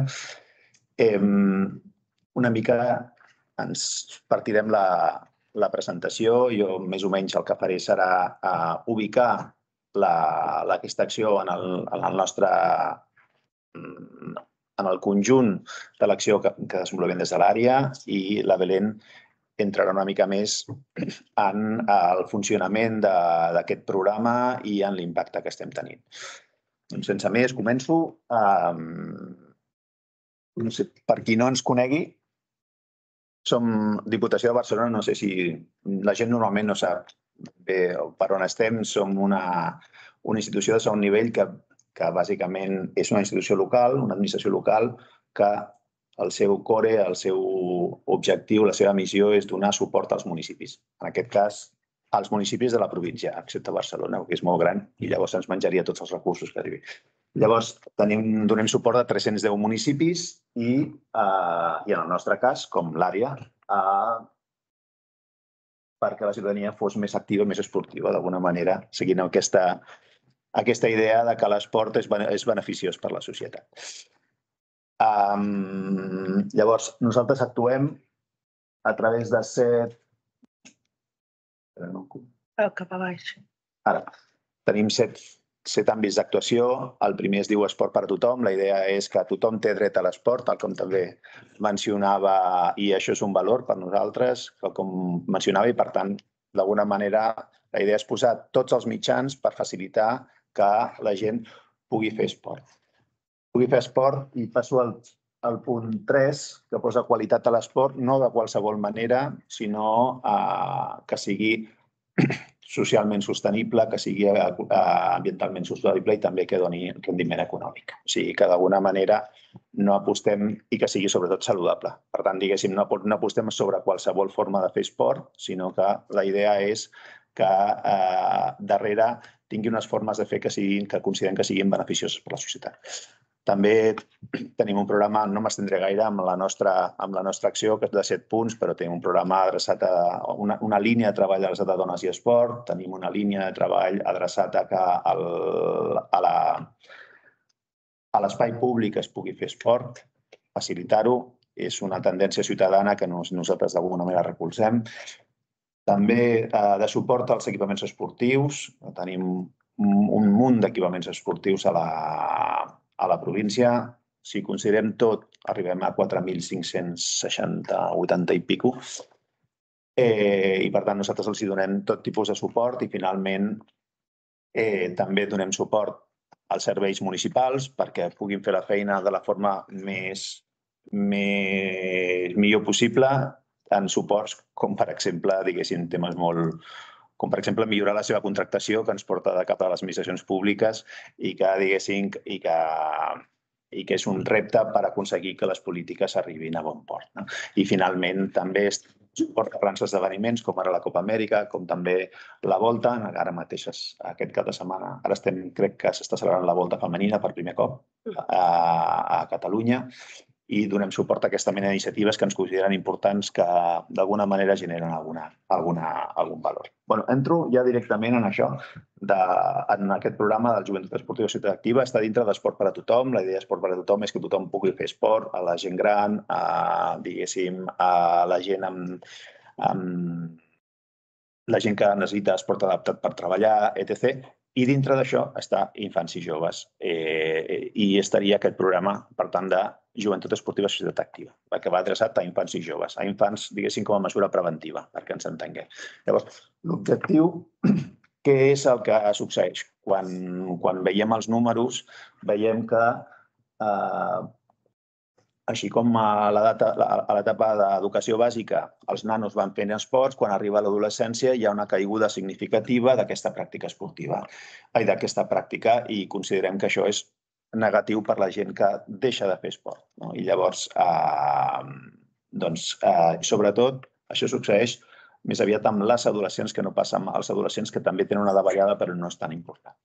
Llavors, eh, si a més a més això ho afegim a, a àmbits eh, on les condicions són desfavorables per la gent, baixa renda, a, diguéssim, condicions que no, que no ajuden a, als joves a tenir una actitud positiva de cara a la seva vida, doncs, eh, llavors nosaltres bàsicament hem creat aquest programa pensant en, aquesta, en aquest target. Són, anem a municipis, estem anant sobretot als municipis grans de la província, eh, de més de 20.000 habitants, que tenen uns índexs de vulnerabilitat alts. Vale? Llavors, estem adreçant aquest, aquest programa sobretot cap aquí. Llavors, aquest programa, eh, bàsicament l'objectiu, no se m'estava escoltant abans, no? L'objectiu és reduir l'abandonament esportiu. Aquest és el seu objectiu. I llavors ho fem, tenim quatre línies. Oh, espera, quasi que agafaré això, serà més pràctic. Hola? Hola? Ara? Ara sí. Tenim quatre línies d'actuació. Eh, espera, passo. Són cinc línies d'actuació. Uh, tenim, ja de les cinc línies destacaré una, però les esmento totes. Hi ha una, una primera línia que és de, donar ajuts, que els, que els municipis puguin donar ajuts a aquells eh, infants joves que vegin que necessiten cert suport per poder fer pràctica esportiva. Tenim eh, programes eh, per tal que els municipis, de forma lliure, nosaltres no condicionem en aquest cas, puguin desenvolupar, eh, diguéssim, activitat de, dirigit en aquest col·lectiu. La idea és que puguin fer que siguin accions de més de sis mesos, o sigui, seguides amb el temps, i que tinguin aquest, aquest col·lectiu. Tenim, eh, estem començant a tenir eh, convenis amb entitats que, que desenvolupen aquesta tasca, que tinguin els mateixos objectius, tot i que la metodologia sigui diferent. En aquest cas, ara mateix estem treballant per aconseguir un, una, una relació amb, el, amb la Fundació Google Barcelona. Intentem generar coneixement amb, tant amb la nostra experiència com l'experiència d'altres. En aquest sentit, tenim un, un àmbit que diem comunitat GESA, on anem penjant documents que ens sembla d'interès, sempre adreçats als tècnics municipals per tal de que, diguéssim, puguin tenir més eines per desenvolupar la seva tasca. I, finalment, el tema que venim a parlar avui, perdó, ja, ja ha arribat des de les línies, he arribat a la incorporació municipal d'educadors i d'educació esportiva. Aquest és el programa que volíem explicar avui. Aquest, aquest és un, un programa adreçat, el que deia, a joves, a municipis de més de 20.000 habitants en índex de vulnerabilitat alt. I bàsicament el valor que té és posar a, a professionals a, de l'esport, gent que ha fet que, diguéssim, que ha fet la carrera de Ciències de l'Educació Física i l'Esport, eh, posar-los, facilitar-los una, una formació social i, d'alguna manera, introduir-los dintre de la lògica de l'actuació de, de l'Ajuntament. La idea és que vagin a buscar, o sigui, vagin allà on, on, on, on puguin relacionar-se amb joves per tal d'oferir-los activitat física i oferir-los preguntar-los què els pot interessar, primer veure si volen fer esport, després preguntar-los què els agradaria fer i després facilitar les diferents eines que té el municipi per tal de uh, desenvolupar l'esport més o menys que ells vulguin. Van provant, de vegades tenen, diguéssim, èxit i de vegades no, però, diguéssim, van provant uh, de trobar uh, aquest suport amb, amb, amb aquests joves. Llavors, ara mateix el que farem serà posar un vídeo on dos educadors esportius de la ciutat de Montcada, del municipi de Montcada, eh, a veure si surt així, si no, haurem d'anar aquí. Cliqueu directament a sobre. Ah, jo crec que està aquí. Estava aquí obert, no? Sí. Algun d'aquests d'aquí dalt? Projecte GESA? Sí, sí és aquest? doncs mirem a, mirarem, diguéssim, com expliquen la seva feina dos educadors esportius que treballen a Montcada. Vale, expliques aquí.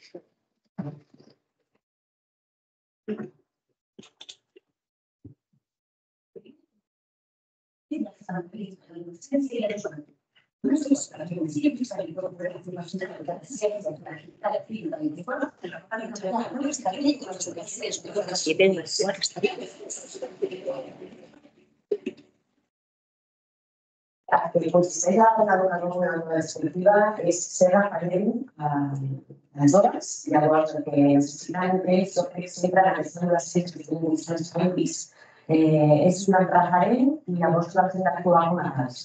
És a dir, venen i nosaltres hem d'acompanyen aquest canvi de descobrir, doncs, en el nostre cas, nous esports i activitats.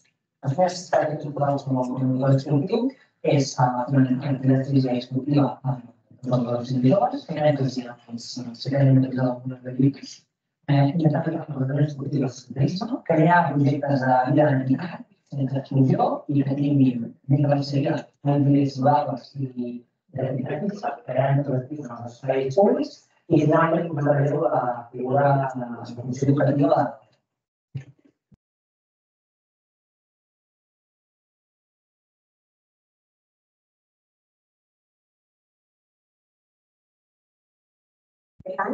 exemple, en mes de setembre vam contactar amb totes les redes esportives de les escoles, amb els centres i professors, eh, i vam fer diferents classes totes les institucions de vida convocada. També hem estat en contacte amb les entitats esportives, amb associacions, amb campionats de joves, ja descobrint aquest nou espais públics, les zones joves de joves eh, a la sala i també també la gent que bueno, que necessitant de física i que nosaltres podem diferir diferents activitats esportius. D'entrada, els joves que s'interessen pel projecte, en el moment que joves que venen eh, buscant doncs, a vegades un tipus de testers en diferents esports per acabar de decidir quin, quin tipus d'esport voldrien fer, perquè no tenen res, llavors venen aquí, que si bàsquet, futbol, tenis sala, sí, qualsevol tipus d'esport. D'entrada, hi ha joves que molts d'ells doncs, acabem ajudant a que a fer aquest pas, acabem trobant acabem sent lligats a una entitat esportiva i comencem a practicar aquest esport que, que la primera ningú. Després d'altres joves que directament busquen doncs, fer activitat física una, dos a la setmana i existeix que hi ha altres joves que crec que són els principals els que s'han anticipat en el projecte, que altres joves que no tenen motivació per fer cap tipus d'activitat, desinterès, eh, doncs aquest és, el, és el perfil el que més doncs, projecte d'intentar gestionar tots els cursos. Uh, nosaltres ens tenen com una persona propera, que necessita moltes vegades doncs, uns problemes que puguin tenir a l'escola, problemes que puguin tenir a casa, doncs, potser moltes vegades no, no ho expliquen, i a, a part de la tasca esportiva, creem un vincle molt important d'individualitats. I llavors, venen aquí i els veus que estan liderats, liberats, expliquen, i és molt, molt bonic. Penso que la que estem enfocades, de tots els 20 anys, serà de, de, de prendre moltes decisions, moltes decisions importants, llavors que existeixi aquesta figura dins l'àmbit de cara si no tenim un esportiu, doncs pot ajudar a que aquest jove en, en, en aquell àmbit eh, construeixi un problema important per la seva vida, que també doncs, el pugui ajudar també indirectament en, en els nostres sigui formatiu, sigui professional, sigui personal. Llavors, penso que és una figura que existeix i en aquest moment a seva vida, doncs crec que és una cosa bastant sensible. I transformem la societat a través dels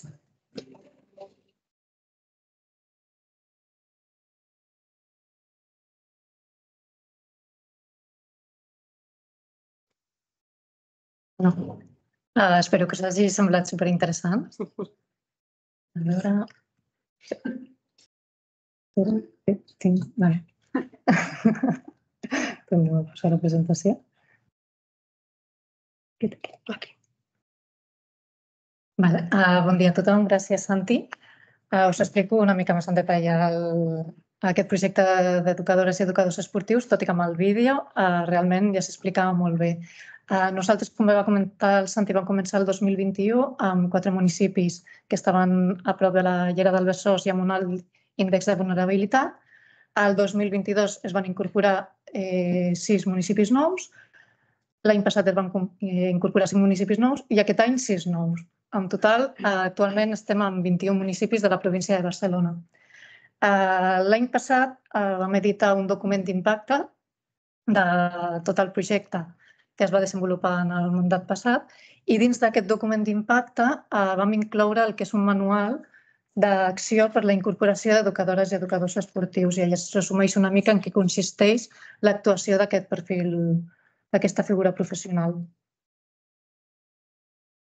Llavors, han anat sortint en el vídeo, també ho ha comentat una mica el Santi, quins són aquests tres diferenciadors d'aquesta figura. Per nosaltres és molt important que siguin graduats en Ciències de l'Activitat Física i l'Esport i que, a més a més, tinguin aquesta eh, formació complementària en l'àmbit social, en la metodologia d'intervenció socioeducativa. També eh, aquesta figura, ja ho hem vist, eh, que creen el vincle amb els joves, eh, han de ser capaços d'acompanyar els joves no només en la proposta d'activitats esportives, sinó en el desenvolupament integral dels joves. I com, com, com ho aconsegueixen això? Estan en col·laboració i en coordinació amb la resta de serveis de l'Ajuntament, no només a l'esport, sinó que fan contacte amb joventut, amb educació, mental social, i també amb la resta d'agents del territori, tant agents esportius, que siguin els clubs esportius, associacions esportives, com altres agents que poden ser el centre de joves, associacions culturals, eh, passant per instituts i centres educatius. Val? I llavors, amb això el que, el que creen és el, es, aconsegueixen ser el nexe entre la voluntat dels joves hem de ser capaços de detectar quines són les necessitats dels joves, quines són les seves motivacions i eh, són el nexe entre l'oferta del municipi, tant a nivell esportiu com, com altres. Val? Llavors, és, és aquesta la, la riquesa d'aquesta figura professional. Nosaltres, des de Diputació de Barcelona, eh, donem un suport econòmic, però anem més enllà sigui, no, no, no només ens quedem aquí, sinó que per una banda donem tot un suport tècnic eh, tant als tècnics d'esports dels municipis per implementar aquest projecte com als educadors esportius que el contracten des del municipi. Els hi fem també acompanyament presencial al territori. Anem nosaltres també com a Diputació a, a xef territori. I a més a més hem creat una xarxa d'educadores i educadors esportius del projecte IESA perquè tinguin un espai de trobada eh, mínim dos cops l'any, eh, perquè puguin compartir entre ells i no es vegin sols en el seu municipi, sinó que puguin compartir eh, coneixement i les seves experiències del que es van trobant, què els hi funciona, què no, i tenen aquest espai d'intercanvi. Per altra banda, també donem el suport formatiu que comentava el Santi, que és aquesta formació, els hi fem una formació inicial en l'àmbit social, val? sobre aquesta metodologia d'intervenció, els hi va molt bé a l'inici, especialment perquè quan van a territori és i què faig, no? Per on començo? Doncs eh, els, els orientem una mica en aquest sentit i després també si a mesura que avancen en el projecte detectem alguna mancança o alguna necessitat de formació, doncs els oferim també càpsules formati eh, formatives. I com a tercer punt de suport eh, hem generat tota una eina per recollir els, els principals indicadors i que, a més a més, aquesta eina també els ajuda en la seva actuació, a orientar la seva actuació. Llavors ens centrem en, en temes de participació, però també en la col·laboració amb els agents i en, en quins espais de públics dinamitzen, quines activitats estan realitzant, etc. I a partir d'aquest sistema de recollida de, de dades, fem un retorn d'informes, que seria aquesta imatge que hi ha aquí, que sigui d'alguna manera més visual, tenir aquest retorn de, dels principals indicadors. Eh, l'impacte que hem tingut, eh, us fem un breu resum de, de les dades que vam obtenir el 2023. En els 15 municipis que, que es va implementar el projecte vam arribar a més de 5.000 participants, joves i adolescents, amb una mitjana d'un 8,4 de satisfacció, amb una escala de 0 a 10, que preguntaven als educadors esportius als joves eh, el seu grau de satisfacció amb, amb les activitats que desenvolupen. I eh, també, com a rellevant, un 33% de participants que es van incorporar a itineraris formatius és respecte als participants que en el període analitzat no es trobaven en aquests circuits formatius durant aquest període de temps quan se's van incorporar. Llavors, uh, vaig, vaig bé de temps. Oi? Molt bé. Vale, perfecte. doncs us explico també una mica d'experiències de, i casos singulars que ens hem trobat en aquest projecte. Us destaco, per exemple, a Mataró uh, van detectar que hi havia en els seus grups de joves doncs, uh, tenien barreres perquè no, uh, per participar en certes activitats perquè no sabien nedar. Llavors, l'educadora esportiva es va moure pel municipi eh, es va estar en contacte amb les, eh, el servei d'esports, amb les instal·lacions esportives per trobar un forat en aquestes, no sé si coneixeu, les instal·lacions esportives municipals estan totes aturades. Sí. Doncs per trobar un forat per oferir una activitat que era un curset d'iniciació a, la, a la natació. I va ser un èxit rotund. perquè molts joves que no sabien nedar van aconseguir agafar confiança en, en aquest medi. Va tenir tant d'èxit que tenien llista d'espera i va fer la feina d'intentar aconseguir en una altra instal·lació esportiva un altre horari per poder oferir un segon curs. Llavors, més de, van ser més de 40 joves, eh, nois i noies, que, que s'han pogut beneficiar d'aquesta actuació. Uh, tenim també el cas de Sant Adrià del Besòs, i aquest uh, va sortir a medis, bueno, mitjans de comunicació. A Sant Adrià es centren principalment al barri de la Mina. I fruit d'aquest projecte, els educadors esportius d'allà van engrescar les noies perquè fessin activitats. Llavors hi havia un club, que és el Club de Tramuntana, de la Mina, de futbol, eh, que van crear una secció femenina. I és tot un èxit perquè és el primer equip de futbol femení del barri, de la Mina, que competeix eh, en, bueno, que competeix en, en el futbol. I es van derivar 17 noies del projecte en aquest club i també, molt important, i és part de la, de la feina, és anar fent el seguiment d'aquestes noies um, juntament amb el club. També tenim un altre cas com a singular en Cornellà de Llobregat. Uh, és, és una activitat singular, però us la comento. Tenien un quiosc antic de, del municipi i el van reformar per fer un quiosc esportiu. Llavors, uh, han creat aquí com un punt de trobada pels joves i es troben cada tarda els divendres el, aquest quiosc esportiu i van allà els joves i no saben quina activitat faran. Llavors, cada divendres és una activitat sorpresa. Els educadors esportius hi són allà i els acompanyen cap a la, la localització que toqui cada divendres per fer aquesta activitat. I han aconseguit eh, que un compromís amb els joves que no és que cada divendres tinguin un jove diferent, o sigui, són els mateixos joves que, que els agrada aquesta iniciativa i repeteixen i veuen allà també doncs, aquest punt de, de, de trobada per ells. No? Tenim també el cas de, de Barcelona, per exemple, però us comentaré com a activitat estrella que ens hem trobat en aquest projecte i que més ens demanen els joves de, de realitzar, la majoria de municipis, ens ha trobat el voleibol. O sigui, com a molts municipis, sobretot els que s'incorporen aquest any nous, que es pregunten, i els altres municipis què ha funcionat? El voleibol. no, anem, o sigui, no, no és cap activitat super diferent, no, és el voleibol. bueno, uh, està, està tenint molt d'èxit.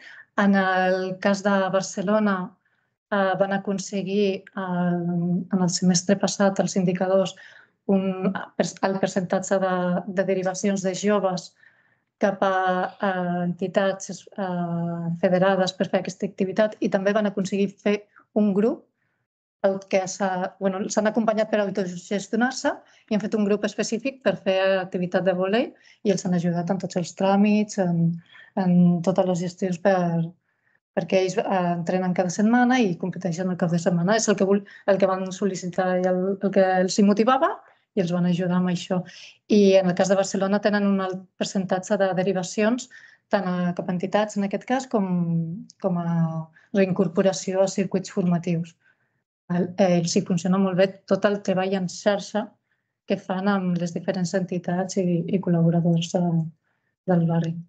I per últim teníem aquí el vídeo, que també és un, un exemple d'èxit en Santa Coloma de Gramenet, Uh, com bé havíem comentat, les dades, en el cas de les noies, aquest abandonament esportiu és uh, més elevat i en el cas de Santa Coloma de Gramenet, en el que han aconseguit és invertir aquests percentatges, estaven en gairebé el 80% de participació femenina, que és, és, realment és un indicador que costa molt d'aconseguir que arribi al 40%. I en aquest cas uh, estan en el 80% i els hi ha funcionat molt bé l'activitat del voleibol. Llavors, si us sembla, posem el... Mira, sí, sí com, tenim com, no, com estarà, es passarà el, el, el PowerPoint i està vinculat, la gent ja tindrà oportunitat de veure el més carrer per, per si ha, sí. doneu un espai ara d'alguna pregunta que, que us pugui, que tingueu interès, fruit de la, la presentació del projecte que han fet.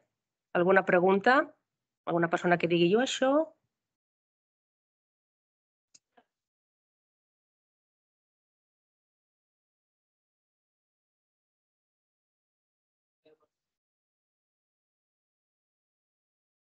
Que la intenció és uh, poder accedir com als barris potser més vulnerables o quina paraula utilitzar. Però, Sí. eh, clar, suposo que es deuen trobar en moltes situacions i en moltes casuístiques que ells potser no tenen les eines socials com per... I Correcte. Van gestionar segons quines coses. Per això és molt important, exacte, per això és molt important conèixer a tots els agents del territori, perquè també nosaltres, o sigui, com a graduats en Ciències de l'Activitat Física i l'Esport, tenim uns coneixements eh, i arribem on arribem. Llavors, si detectem que un jove necessita atenció psicològica, doncs mira, conec a la Laura de l'Ajuntament que potser et pot donar, et pot orientar amb això que necessites. Mira, que t'acompanyo i la coneixes. Per això és molt important a tot aquest treball en xarxa, tota aquesta coordinació entre els diferents agents per poder atendre el jove de, de manera integral, no només de, a través de, de l'esport, sinó també poder-lo... Per això és molt important aquesta paraula d'acompanyar. No només ens col·loquem a, a proposar activitats esportives, sinó també ens, eh, ens centrem en treballar diferents aspectes de desenvolupament dels joves. Seria com una entrada més, diguéssim. És una entrada més al, diguéssim, al, al suport que pot donar un, un ajuntament. I és, i és l'entrada és l'esport, en aquest cas. Gràcies. Interessant. Sí. Sí. Responent a la seva pregunta, és que jo he treballat amb, amb el GESA, amb en Lleu, i va funcionar superbé, perquè jo era educadora de carrer. Que bien. Un testimoni. Era, o sigui, ens va presentar el projecte i llavors érem tots educadors i ens vam dividir, no? Un anava amb mi i l'altre anava amb la meva companya. I nosaltres teníem molt vincle amb els joves. Llavors, totes les necessitats que ells tenien, pues, clar, ens les demanaven. Nosaltres intentàvem fer xarxa amb els nens i amb els educadors i realment és que va funcionar molt bé, eh? Vull dir, teníem 40 nens i en un equip de futbol, eh, 20 nenes en un altre, en, o sigui, jugant al futbol, i ping-pong, volei, eh, els caps de setmana es feia escalada, vull dir, va funcionar super, super bé. De veritat. M'alegro molt. Moltes gràcies per compartir.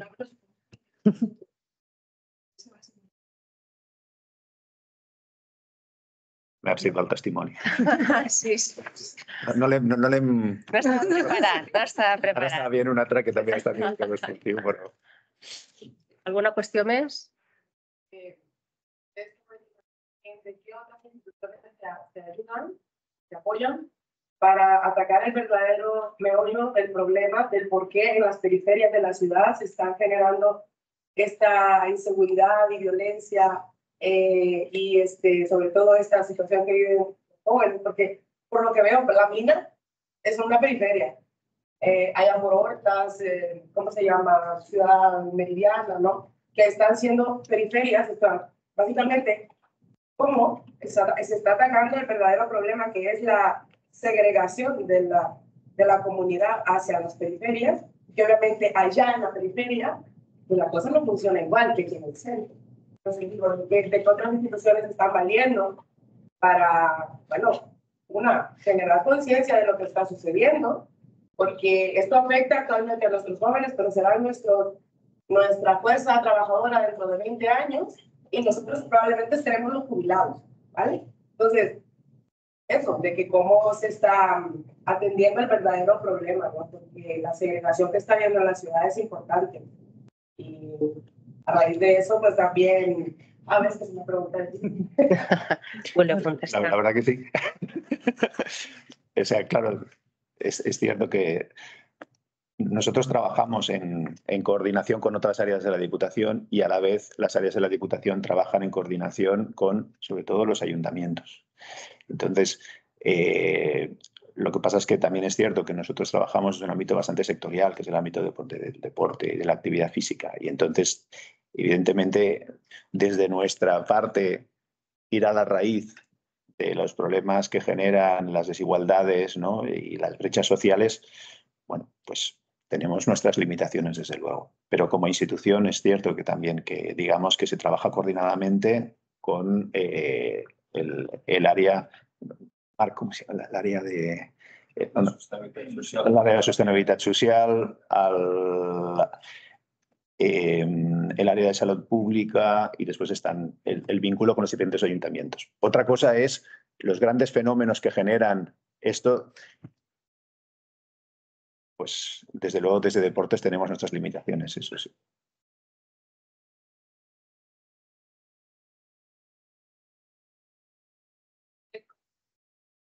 no hacer, no hacer deporte en la comunidad, ¿no?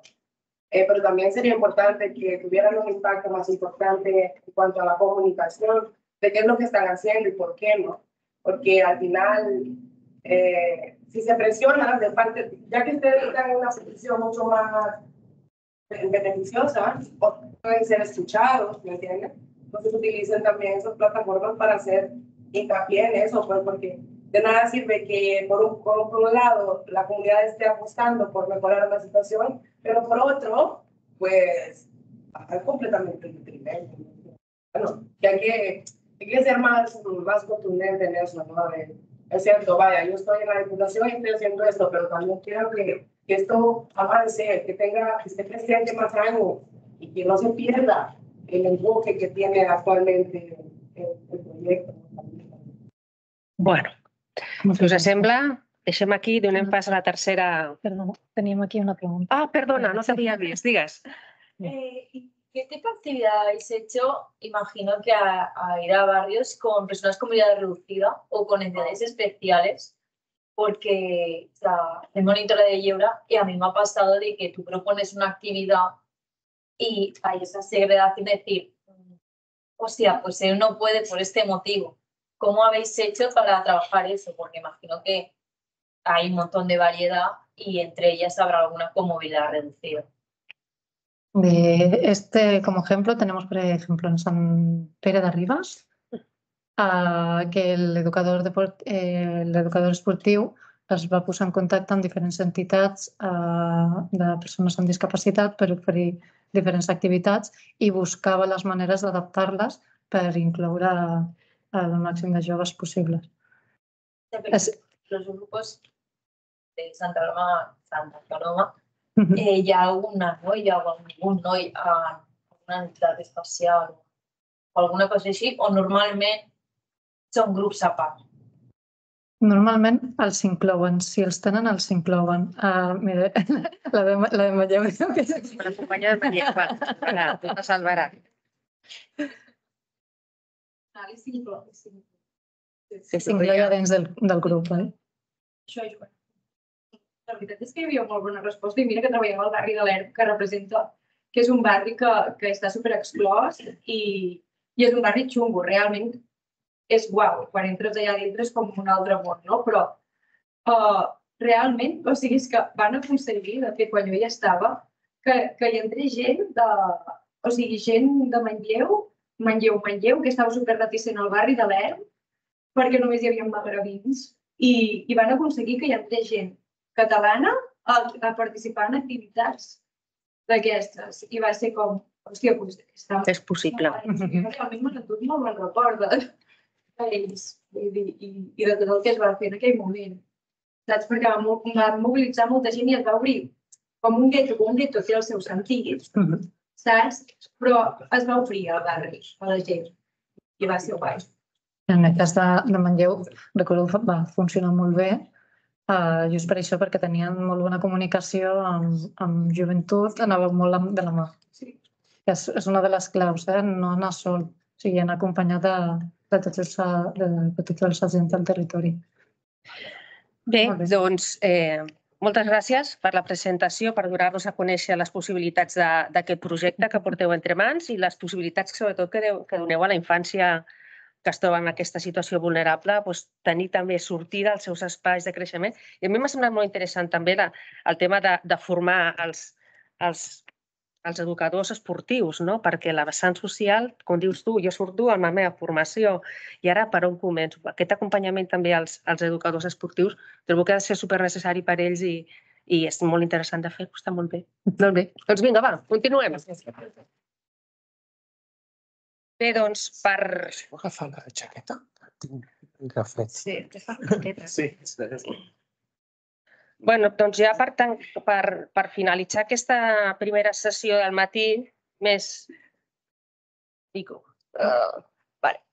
Doncs deia que per tancar aquesta primera sessió del matí, vale, només ens queda l'aportació de l'Alfred Cano i del Marc Lozano. Ara es presentaré un momentet. La idea és que, que ells ens parlin, es presentin un projecte de, sobre els joves i els usos dels espais públics urbans i una anàlisi de casos i experiències des de l'skate. D'acord? Llavors, el Marc Lozano és mestre d'Educació Física de l'Escola Primària Elicent de Montcada i és president de l'Associació de Joves Patinadors de Sants Sant Forever. I és, ha fet la diplomatura de Magisteri d'Educació Física a la Universitat de Barcelona i el màster en Activitat Motriu i Educació també a la mateixa Universitat de Barcelona i el Marc Lozano, no, i el Alfred Cano, és fundador i director d'Escàtia eh, i responsable de les formacions de l'skateboard de la Federació Catalana de Patinatge. També és professor a la INEF de la UB i pel grau de CAFE en esports emergents i de lliscament. I també ha estat directiu tècnic el 2019 pel muntatge i operativa del Mundial per a la Federació Internacional de Patinatge World Skate. Tots dos, d'alguna manera, ens presentaran i ens parlaran de la professionalització i la formació d'aquesta figura professional en el món de l'skate i de la cultura pedagògica que arrossega. I el, el Marc ens parlarà més també d'aquestes temàtiques, però més aplicat en l'espai i a la pràctica. I després seran els companys que Després del descans ens dinamitzaran un taller més pràctic a baix en el pati, una mica amb la fórmula que vam utilitzar l'altre dia, doncs avui de la mà del Marc i de l'Alfred. D'acord? Doncs endavant, nois, teniu la paraula. Comences tu amb el diàpos. Posem aquí la presentació. Estàs.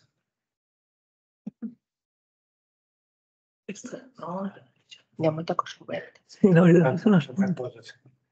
Ah, aquesta fora. Aquesta fora també. On la tenim? Ah, aquí. I... som -hi. Molt bé, molt bé. Doncs eh, bon dia. Eh, avui el meu company Alfred i jo presentarem en concret tres casos, ¿vale? Un tan fuerte. Els, els. Exacte. Els tres casos que presentarem a continuació pretenen no a començar a desglossar com a través de l'skate es pot fer una pedagogia i es pot educar no? a través d'aquesta eina, perquè a vegades estem molt acostumats no? a educar a través de les clàssiques. Aquest, l'skate, l'escalada són esports emergents que estan entrant, han a les, a les Olimpíades i demés.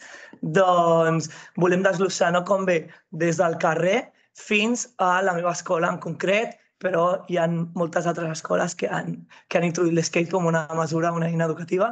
Apunteu-vos al taller després, que veureu que la seguretat està garantida i tothom s'ho passarà d'allò més bé. D'acord?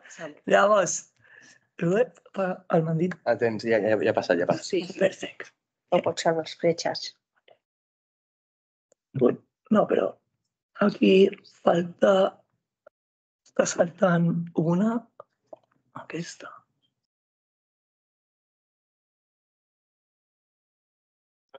Ah? No, sembla que va molt bé.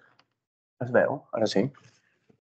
No, però està com, està confosa, no sé què passa. Mm.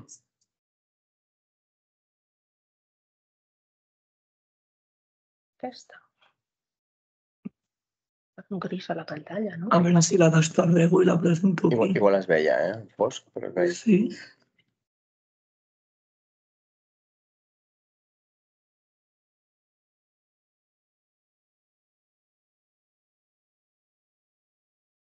En aquesta en aquesta primera diapositiva que veureu, eh, us introduïm doncs, les tres grans parts d'aquesta petita exposició. Eh, Ara, ara ja està. Ja, les tenim. Sí, perdoneu, eh? eh? La presentació començarà a través de dos petits vídeos, vale? per explicar una mica la, la, nostra, la nostra experiència. La primera és mm, a través de l'associació de joves patinadors. No sé si heu passat algun cop per davant de l'estació de Sants, hagués un espai que està en total desús, bueno, desús no, està molt fet servir, però eh, està com amb una falta de manteniment per un procés de, bueno, de reforma que pertany tant a DIF com, com a l'Ajuntament de Barcelona. Llavors, eh, com nosaltres, a través d'una associació de joves, ens vam organitzar, van començar els processos participatius de l'Ajuntament de Barcelona i com vam començar a organitzar-nos per tal de generar no, les dinàmiques, començar a créixer a la xarxa, al teixit social, com ens vam eh, donar una mica a conèixer, perquè tothom sabia que estàvem allà, però d'altra manera ningú ens arribava pues, a conèixer realment, a contactar. Vam començar a fer tallers amb escoles, vam participar als talls de carrers de, de, que volen eh, com dinamitzar una mica els, el, els espais dels, al, als voltants de, de...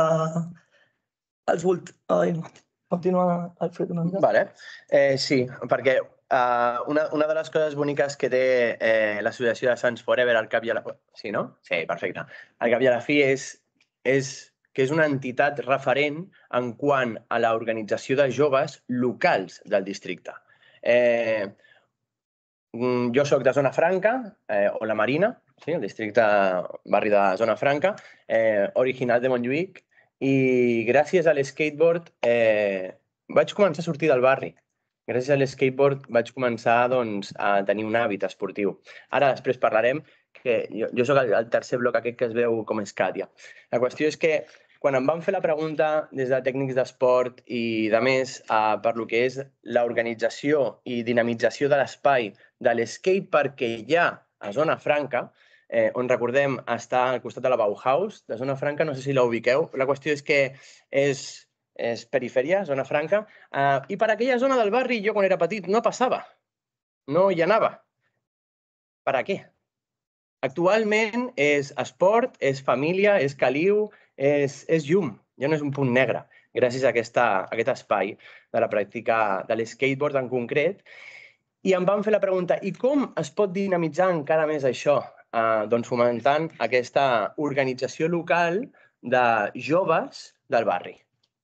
Eh, aleshores, bueno, aquest és un gran bloc. Sí, correcte. O sigui, que volia dir és que era que al final, a través de l'organització jove, s'aconsegueix no arribar a les diferents entitats del barri, escoles, centres cívics i de més, i com a través d'aquesta experiència es pot exportar i pot anar des del carrer fins al final les escoles i finalment també com es pot reglar, com es pot regular, com podem fer un grau o els, els, no, els diferents títols que existeixen eh, gràcies a, a, les, a les entitats que treballen aquests, aquests temes i com es pot fer això. Llavors, presentarem a continuació els, els diferents projectes a través d'un parell de vídeos que, que tenim aquí aquest primer és el de l'Associació de la Plaça dels Països Catalans, que explica una mica les dinàmiques generades en l'espai a través dels joves. a la dels a de els primers objectiu és debutar una proposta del procés participatiu que obre l'Ajuntament de Barcelona per a l'activitat de tots a l'estació de Catalans. Volen crear un lloc públic amb instal·lacions per a la pràctica del urbanisme i la representació dels veïns,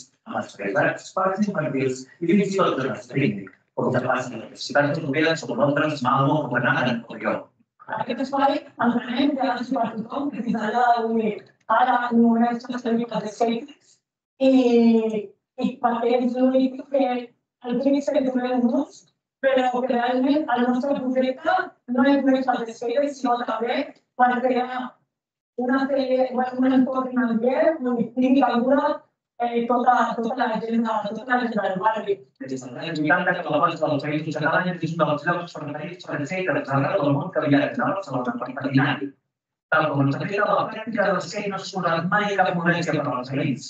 Per tancar amb el projecte de l'ESA en aquest de subgestionar zones de la ciutat la relació amb els no és tan bona.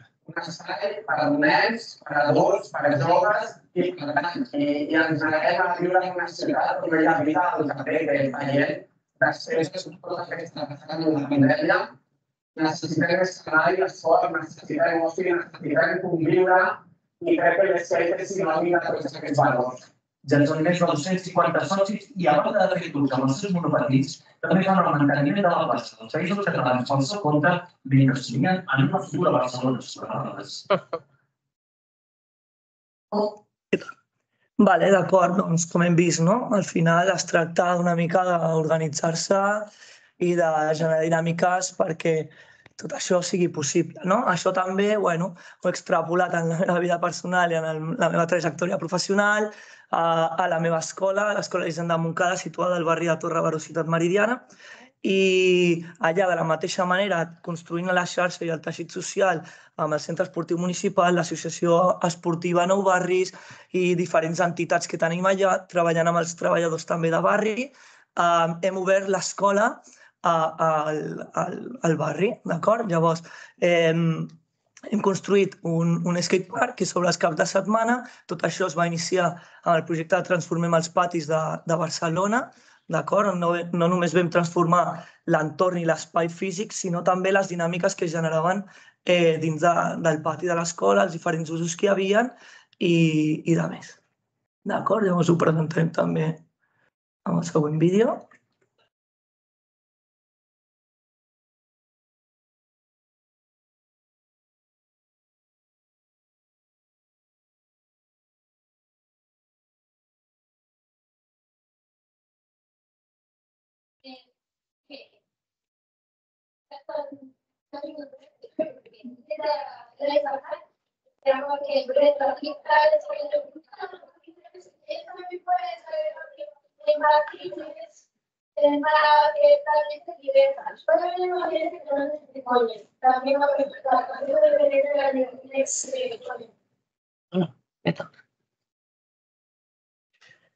Vale, pues el mateix, no? una miqueta com obrir un espai que sempre estava considerat com un espai tancat o l'escola com físicament tancat, però com convidar nens, nenes, joves de l'institut i, i de més en, en, en aquest espai. D'acord? Llavors, eh, d'on ve tot això? No? Tot això no és una cosa que neix purament aquí, s'inicia a la plaça dels Països Catalans ni a Barcelona, sinó que hi ha, hi ha altres ciutats que integren diferents espais polivalents, patinables i a la vegada que tenen cabuda per diferents usuaris, ja siguin pues, uh, joves, eh, persones grans, eh, gent que vulgui estar jugant a bàsquet, es, es barreja amb altres esports i de més, no? Eh, presents com Malmo, Lyon, al final és un, un espai públic no? que en, en priori no està mercantilitzat, com deia, com deia el Xavi, no? i és molt important tenir aquest diàleg entre veïns, eh, ajuntament i la gent local que està fent servir aquell espai. No? Aquí tenim un parell de fotografies sobre bueno, com, com és possible tenir un espai amb una zona patinable, una de bàsquet i, i de més. D'acord? Llavors ara el... Salta. Sí, salta, no sé per què. Salta dos El Vic explicarà la d'Escàtia. Bé, i aleshores, eh, tal com el Marc està, està parlant d'aquesta adaptació no? de l'espai, de la pràctica esportiva, eh, jo estic més professionalitzat dintre del món de l'educació, llicenciat en CAFE i actualment docent eh, dintre de la UB, a INEF, a Montjuïc, doncs, per, per impartir aquesta assignatura d'esports emergents, en concret esport de lliscament, on utilitzem l'skateboard com a eina pedagògica, com a eina inclusiva i integradora. Uh, I aquí bé, no? Uh, no s'acaba de veure bé, però bueno, uh, és... No, no, no, no et preocupis. Sí. En veritat, al final tenim veu per algo. Sí. I la qüestió és, uh, què és? Què, què, què, ens, què ens aporta l'esport? Eh, hem, hem passat per molts valors, no? Acabem de dir, no... no ja, ja s'han puesto encima de la mesa. Però una de les coses que, que la societat encara no coneix, no sap de l'skateboard, és el concepte ajuda. És el concepte ajuda. M'explico. És un esport molt jove, després veurem per què a nivell eh, pedagògicament parlant, eh, però en concret l'skate és una plataforma inestable, que després provareu, de forma molt segura perquè sempre tindreu a un company o una companya al vostre costat. On ens ajudarem? I això és molt important perquè en molts altres esports, en molts altres esports, eh, jo puc fer el gest tècnic sol i solo me quedo. M'explico. Amb l'skate, al ser una plataforma inestable, sempre tinc un, un, un concepte de, de por, no? I la por no és més que un sentiment que si el controlem gràcies al coneixement, gràcies a la seguretat, gràcies a un acompanyant, eh, aquí tenim la clau on els joves i amb Escàdia, amb el Club Esportiu Skateboard Catalunya, l'escola es diu Escàdia, estem a diferents territoris de Catalunya, en concret doncs, a 14 municipis, i el que estem intentant aplicar és aquest acompanyament als joves locals per que creïn la seva associació, perquè ajudin a les persones que tenen aquesta inquietud, perquè és un esport individual practicat de forma social. És un esport on jo sol o sola puc practicar, però gràcies a això em relaciono amb la comunitat. Aleshores, eh, experimentareu després a la vostra pell eh, el que significa el concepte ajuda i antigament parlant, eh, aquest esport surt del mar als anys 40, aproximadament, a Califòrnia, als anys 40, 40 poc, surt del mar del surf a l'asfalt, gràcies a una època de sequia que hubo, i aleshores les piscines de les cases més ben adinerades es van quedar buides, i els joves que ja patinaven eh, es ficaven en aquelles piscines. Sempre hi ha hagut des dels anys 40 un concepte d'ajuda emmascarat com a veterà. El o la veterana ens ajudava a saber patinar, però no amb, aquest, no amb aquesta vessant tant de seguretat, d'acompanyament, podríem dir. I és aquí on nosaltres, de forma pedagògica, podem dir molt. Aleshores, eh, ja per acabar amb aquesta diapositiva, Sí? Ah, vale. Ja, ja per acabar amb aquesta diapositiva, el fet de, de, de res, um, perdoneu. Um, el que jo vaig experimentar a Zona Franca en concret, el fet de eh, com a l'esport, de forma, i responent a una pregunta, no? com pot ajudar, que abans li transmeties aquella pregunta a, a aquest grupet d'aquí tan maco, el fet de com pot ajudar, no? com, com, com pot ajudar. A mi em va ajudar viatjant a altres llocs que no fos al meu barri. Em va ajudar sortint del meu barri i coneixent joves d'altres llocs, ja no només de Barcelona, sinó d'altres municipis a Catalunya o inclús fora d'Espanya. Um, aleshores, bueno, següent diapositiva doncs, pel Marc, continuem amb més experiències d'instal·lacions. Correcte. Després també, com hem fet paral·lelament amb a la plaça dels Països Catalans, ho fem també a la, a la, a la meva escola en concret, i és que ja hi ha referències europees on s'ha treballat a través de l'skate. De fet, allà a Brigueriet um, és una escola que està situada a Malmo, tenen un institut concretament tot uh, organitzat envoltant de l'skate. No? Fan, eh, com sabem, l'skate implica també conèixer medis audiovisuals, fotografia, vídeos, eh, produccions de revistes, edició de vídeo, publicitat, bueno, inclou moltes coses. No? I com a través d'aquí, en concret en l'àmbit de l'esport, tenen aquesta instal·lació no? que és un skatepark indoor. Com sabem, a Europa sempre van una mica més, més endavant, doncs a, a aquesta escola té aquesta superinstal·lació. No? A nivell català tenim, um, tenim una escola a Ripollet, l'escola Tiana, on tenim el Xisco, que també va aconseguir construir eh, una espècie, bueno, una espècie no va construir unes rampes eh, per fer skate, scooter i esports sobre rodes. I, um, I amb la meva escola, com he explicat anteriorment, gràcies al projecte Transformem el Patis, ens va primer obrir una mica la mirada i després ja ve el projecte de portava uns quants anys a unes rampes, uns mòduls de fusta que implicaven haver de mobilitzar, de moure dalt, eh, el manteniment era una mica car i vam decidir eh, juntament amb l'Associació Esportiva Nou Barris i obrint el pati tal com era un dels punts principals en aquest projecte de, de l'Ajuntament de Barcelona, doncs vam dir, escolta, i si fem una instal·lació que no hi és al barri, que no hi ha un skatepark, i obrim l'escola cap de setmanes i de més, i, i així va ser. Sempre tenint en compte les mesures de seguretat que explicava el BIPO i un registre exhaustiu d'accidents, perquè, evidentment, tot això es va fer a través de dinàmiques um, de diferents dinàmiques que implicaven tant l'equip de mestres, l'equip de menjador, famílies, etc. No? I tothom tenia aquesta por de, ostres, no, um, aquí un skatepark uh, se'ns se mataran tots els nens. I precisament amb aquest registre d'accidents en tot un any eh, queda demostrat no, que hi ha més accidents al Surral, al, al pati de futbol, al pati de bàsquet, que no a la pista de skate on nens i nenes porten les proteccions, saben les mesures de seguretat. Ja, tu ja estàs atent a que pot ser que caiguis, no? Llavors és com eh, no, tenir un, una evidència eh, clara, un registre clar de que el, aquesta perillositat d'aquest esport no és tan, no és tan gran, existeix evidentment, però no és tan gran com, com tothom eh, imagina. No? I finalment també eh, això s'ha pogut fer gràcies a, a la flexibilitat i a la gestió dels diferents elements, tant de la direcció del centre, tant a les diferents entitats que col·laboren i sempre no, creant una xarxa i tenint una base, una base sòlida.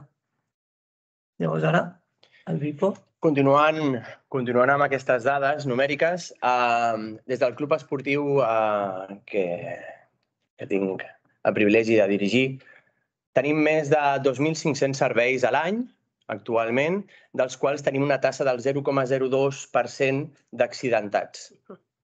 Estem per sota del 0,1. M'explico. Uh, si es treballa de forma segura, amb paciència, amb respecte, eh, s'acaba lliscant de forma segura s'acaba lliscant de forma lúdica. Um, aleshores, ja per acabar, doncs en aquesta diapositiva esteu veient el primer de tot que aquest esport és, és, és un infant, acaba de néixer. Uh, amb un grup d'amics, el 2015, uh, gràcies a l'Escola Catalana de l'Esport, vam, uh, vam, vam crear aquest primer CIATE del món del lliscament de l'skate el 2015. Um, I bueno, ja ha anat evolucionant una miqueta no? aquest camí de picar pedra on eh, no, hi havia una, no hi havia un índex eh, pedagògic, no hi havia una vessant eh, metodològica o formativa, eh, on al cap dels anys, eh, gràcies a la Federació Catalana de Patinatge i actualment l'Espanyola, eh, doncs el Consejo Superior de Deportes ja eh, donat el vistiplau a aquest eh, primer TD1 de l'skate eh, com a esport reconegut i ja amb una vessant formativa, el qual eh, jo, jo he sigut part d'aquest equip tècnic eh, docent eh, farà tres setmanes. Farà tres setmanes a Madrid i a Barcelona en concret ja el portem fent eh, uns quants anyets. Què vull dir amb això? La societat encara no sap el que pot aportar l'skate als nostres joves, a les nostres joves, com a eina de prevenció i d'integració cap a, a la cultura i cap al fet d'aquest eh, aquest acompanyament in, integral no? que, que comentàveu, el fet de que es, la, la gent s'obre, la gent, eh, quan tu estàs a l'skatepark, et dona igual classe social, sexe, ètnia, eh, edat, res. O sigui, la qüestió és que l'skateboarding entén d'actitud, entén de perseverància, entén de, de bueno, d'aquest acompanyament i d'aquesta ajuda que després d'aquí una estoneta experimentareu. Eh, I si més no, us, us animo a, a que hi sigueu ajudant. No, és que jo no ho tinc clar, a mi em fa por. Clar que et fa por, és una cosa nova. Saps? Doncs sigues la persona que ajudarà a l'altre. No te'n vagis, queda't, queda't a experimentar el fet de, d'acompanyar els altres perquè és una gran experiència. Sí, després, com explicava el Vipo, eh, es, fa, es farà servir no, una metodologia de, basada a través de l'ajuda i que, sobretot, eh, el més important, jo sempre quan explico a les classes, a l'skate, si tu has vist que vas de peu, però hi ha mil maneres més de fer-ho servir i sobretot de divertir-te. No? La, la base principal una miqueta és aquesta, que tot i ser un esport individual, genera molta comunitat i, i si tens un bon suport, una bona ajuda, algú que t'ensenya, algú que, que, que et dona la mà o que el fa servir d'una altra manera, t'obre una mica més i dius, ostres, pues, sí que és veritat que, que es podia fer això i em puc una mica com iniciar i perdre aquest, aquesta imatge, aquesta por, no? Exacte, així que ara obriríem un petit torn de paraules doncs, per qui vulgui saber una miqueta més d'aquest esport o quin ús podria tenir en la societat actual, tant d'espais com de comunitat, i a partir d'aquí ja faríem aquest descans. Sí. Així que, eh, teniu algun dubte? Us agradaria saber alguna cosa, curiositat?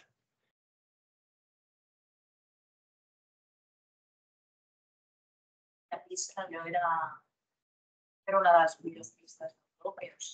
Sí, nosaltres personalment no tenim cap vincle amb ells, bueno, cap vincle. Els coneixem, eh, hem patinat amb ells, eh, hem estat allà, jo personalment he estat, però com a entitat organitzativa i de més, no.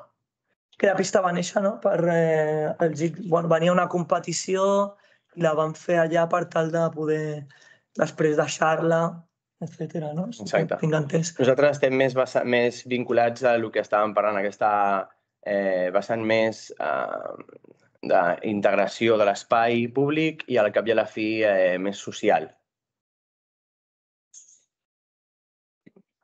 Si entres al carrer vas skate, per fer-te, si vols fer un curs t'has de deixar la pasta que la pasta. Cor correcte. Som, som, podríem dir, no, a, a, a, a aquesta polarització que abans estava comentant en Xavi, no? doncs aquí teniu la de l'esquerra. Mira, és un avantatge. Aquí, la mercantilització és, és vulguis o no, doncs una part que, que té l'esport.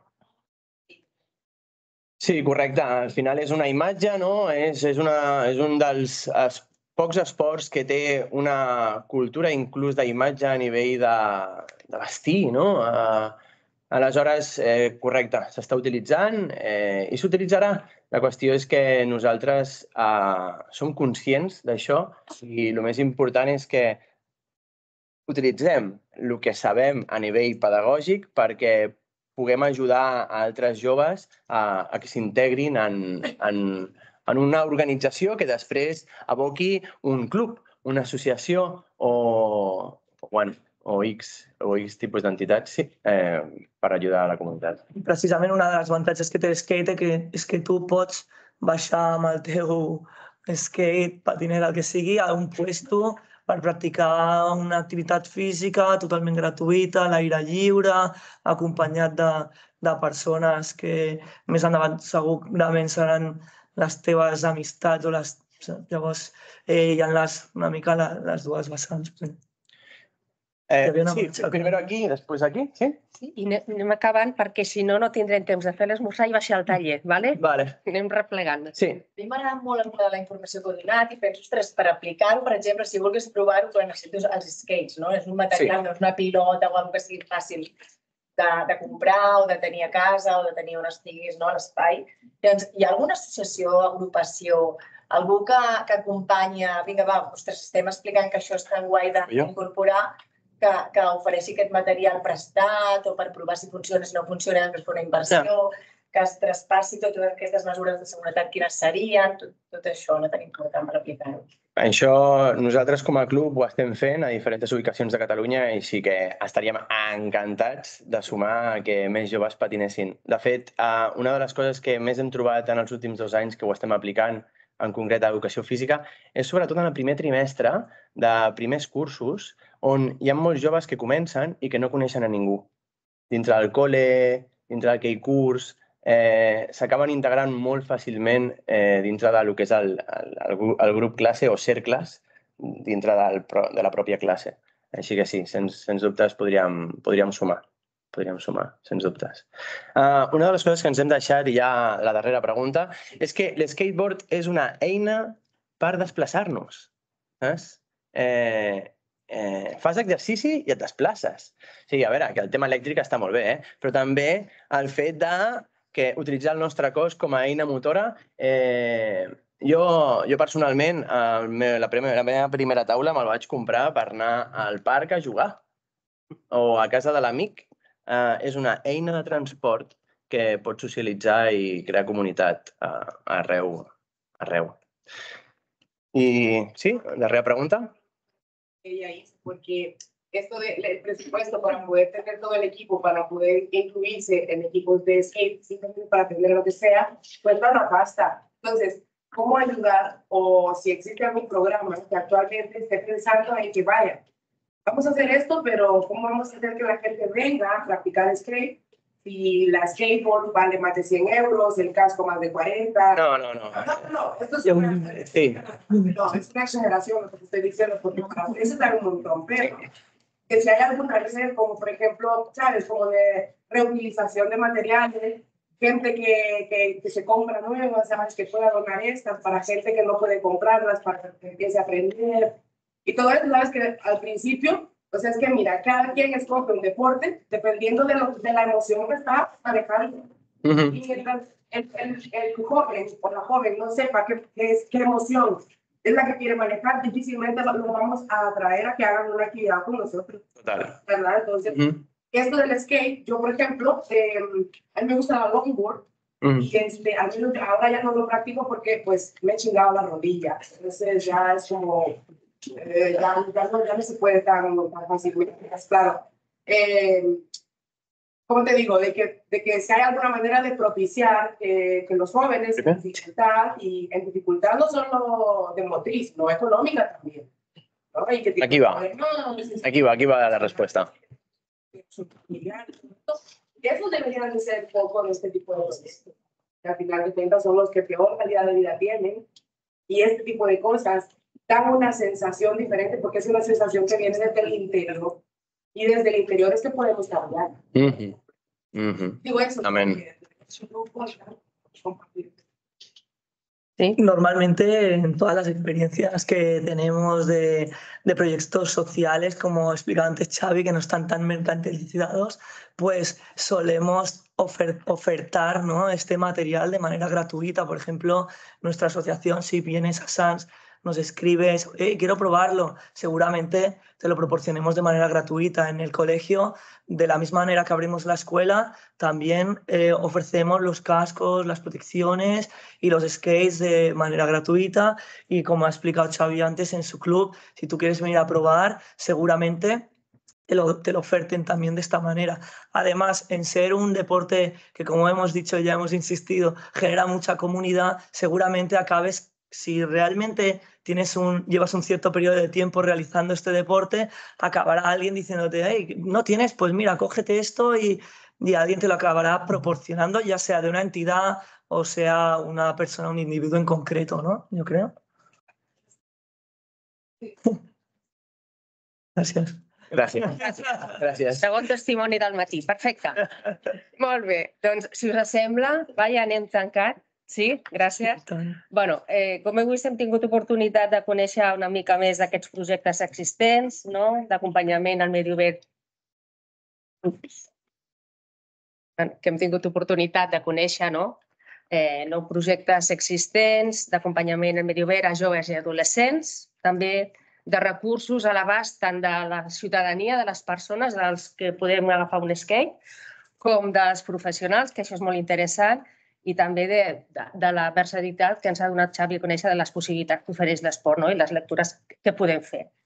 Llavors ens emportem idees, suggeriments, i més no jo com a mínim, que ens permeten no, ampliar la- l'aportació que fa l'esport com a eina de prevenció, d'integració social, oberta a tota la ciutadania i a la generació de xarxes i col·lectivitats, com comentava. Vale? Doncs eh, anem a esmorzar i després baixem a baix. Vale? Vinga. Gràcies.